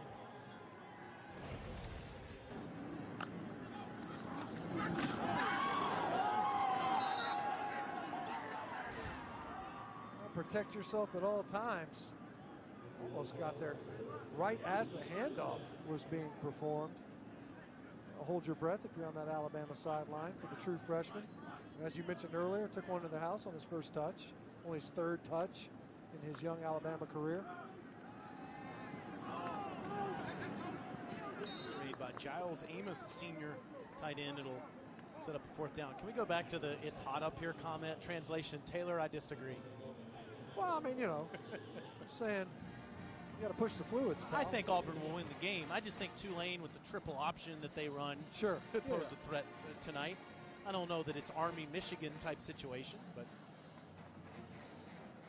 of course Auburn is the the last opponent in the regular season for the Crimson Tide. Go through that schedule here in just a moment.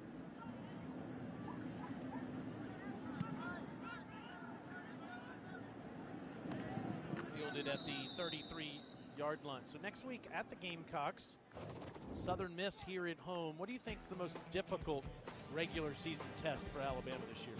Well, it might not happen. We just talked about Texas A&M, so that's what I was saying. But you see November 9th, yep. you get LSU, you get them at home. Mississippi State's not what we thought. I don't think they'll be what they were a season ago where they certainly gave Alabama offensively more than they wanted. And then as you're saying, you know, who knows, by the end of the year, in the Iron Bowl, maybe Auburn's got it figured out. And Bo Nix is contributing more broadly in that running game and they get it figured out. Guys, I think one of the more interesting questions too is is this going to be one of the more difficult years for Nick Saban, just knowing how much youth that's on that team and looking at that schedule too. I mean, they've looked good today, but this is nowhere near the competition they're going to face in the SEC. I mean, do you guys think that this might be a down year for Alabama standards? Well, I think it's a great question, especially about their defense, Alyssa, in the depth that they have. They cannot afford any more injuries. And already Moses and McMillon, linebacker corps, out for the season. They've had significant injuries in the last couple of years, but their depth has been so strong. I'm not sure that they can. Pete Golding and Nick Saban can afford those kind of injuries. This year's Romero runs past the 50 yard line they're relying on some fresh faces as true freshmen. And no disrespect to Duke or New Mexico State. Sure. How are those guys going to fare when they play the Aggies and play the LSU Tigers? Well, and you know what? By then, they're no longer freshmen. You know, it's a technicality. You hear all these coaches say that, and there's some validity to that. Is that you know you've got playing experience now? The challenge is, do you see defensive coordinator Pete Golding there, making sure that those guys aren't reverting back to things that they could get by with as high school players while they're trying to be starters in the Southeastern Conference. And it's easy for that to happen. You know, you flip into survival mode as a player and you revert back to old habits. They may be bad habits. You know, he mentioned Pete Golding was talking about Christian Harris and the fact that he played defensive back and wide receiver. The good part about him now being an inside linebacker is that he's got no bad habits to fix. It's not like he played linebacker poorly before. He didn't play linebacker. And so it's a clean slate. He's a guy that's getting out there, and yeah, he's learning on the job. Right now, he's the MAC linebacker in there for Shane Lee. He's getting much needed reps. As you see where he would have ranked number six athlete, not linebacker, not defensive back, athlete in the ESPN 300.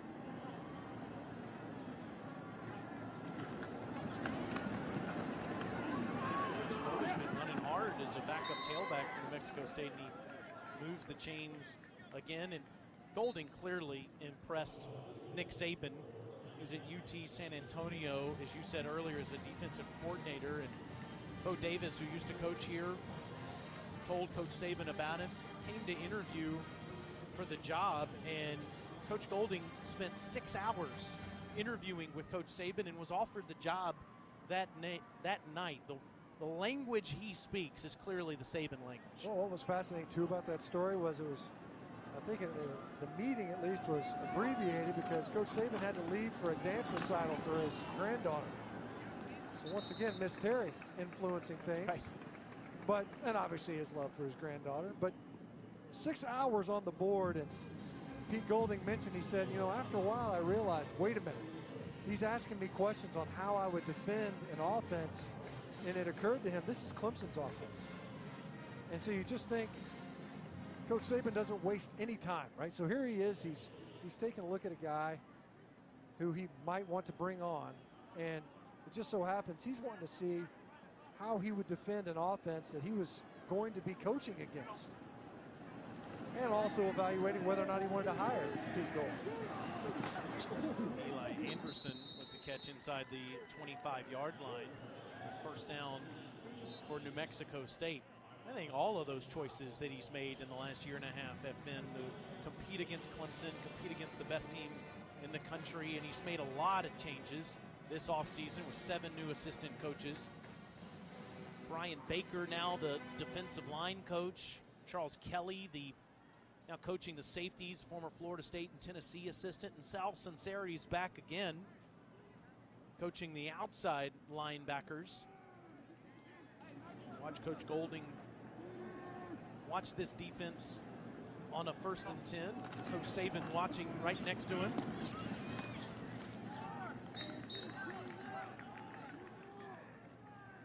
He doesn't look happy. He doesn't like the way New Mexico State's moving this football. Hands on the hips. You see Coach Golding. Looks like he's lassoing something and then casting what looks like a topwater lure of some type, probably, maybe a balsa wood. Hmm. What was the kind that Cash Daniel was using?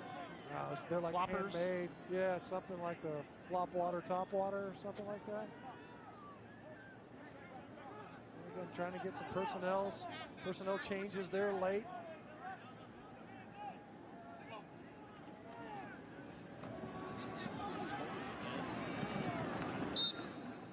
He's ahead to the 16 yard line. But you can imagine apprenticing under a defensive mind like Nick Saban. And even right now, so in the SEC right now, you've got three former defensive coordinators that are now head coaches. All three of them, incidentally, in the SEC East. Will Muschamp from his time at LSU. You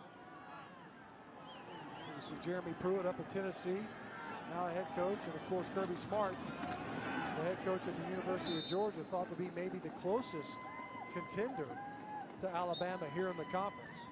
Certainly proven to be a very close proxy. The last two times they've met, but still short. How about a shout out to this kid here, Josh Foley, and the way that he's been running in the fourth quarter. Redshirt freshman from Rio Rancho, New Mexico. Foley with 51 yards rushing. A day he'll never forget running in Bryant Denny Stadium. The rest of the team just has 42 yards. Romero to the end zone, incomplete. Just trying to throw that to Navion Mitchell with 126 left. New Mexico State came in here. They're going to get what they wanted. They're going to get close to two million for having made this trip. Seems like they will finish this game largely intact. From an injury standpoint, you get Roy Lopez back, your best defensive player. Did not play in this game at all. Javon Ferguson as well. End around to Drew Dan. Dan is shoved out of bounds just shy of the goal line. Josh Jobe forced him out. It'd be first and goal. And a chance to put it in the end zone one more time. So a lot of folks were closely watching the field goal attempt earlier. Now, of course, opportunity to pad their scoring in this game to tighten the margin. It's the 12th play of the drive for the Aggies. Anderson is stoned at the two.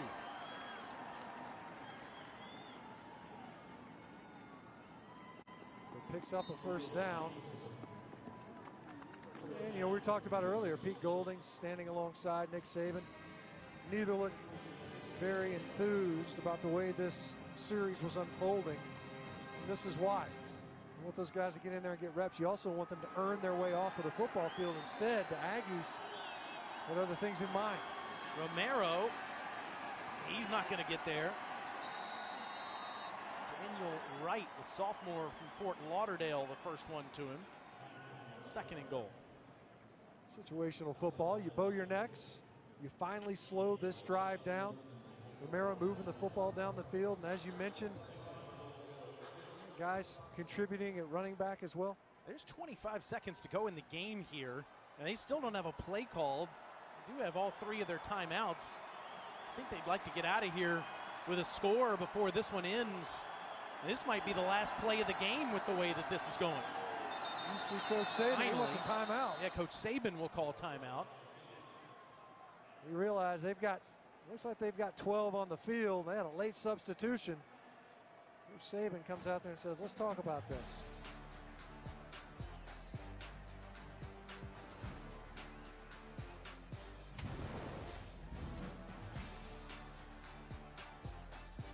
Okay, I have. Second and goal for New Mexico State. Eight seconds to go in the game with the ball at the two yard line. Coach Saban calls timeout with eight seconds left because he had 12 men on the field. Still trying to coach this defense and keep the Aggies out of the end zone. Let's see if number 22, Jalen Armour Davis, makes a play right here.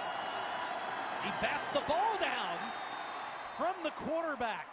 This redshirt freshman from Mobile, Alabama, by way of St. Paul's Episcopal School. What are the odds? Didn't you go to St. Paul's Episcopal I School? may have spent 13 years of my life Interesting. on Dogwood Lane. Here comes Jalen Armour Davis, right on cue. All you got to do is ask.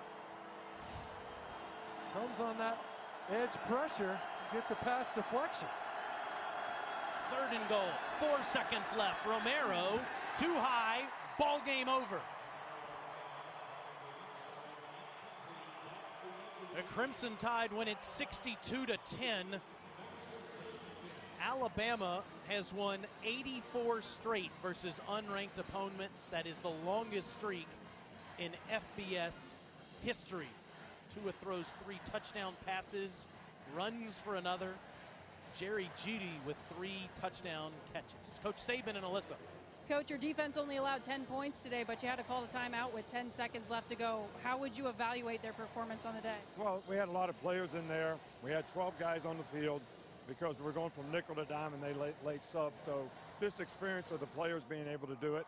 But we played a lot of players.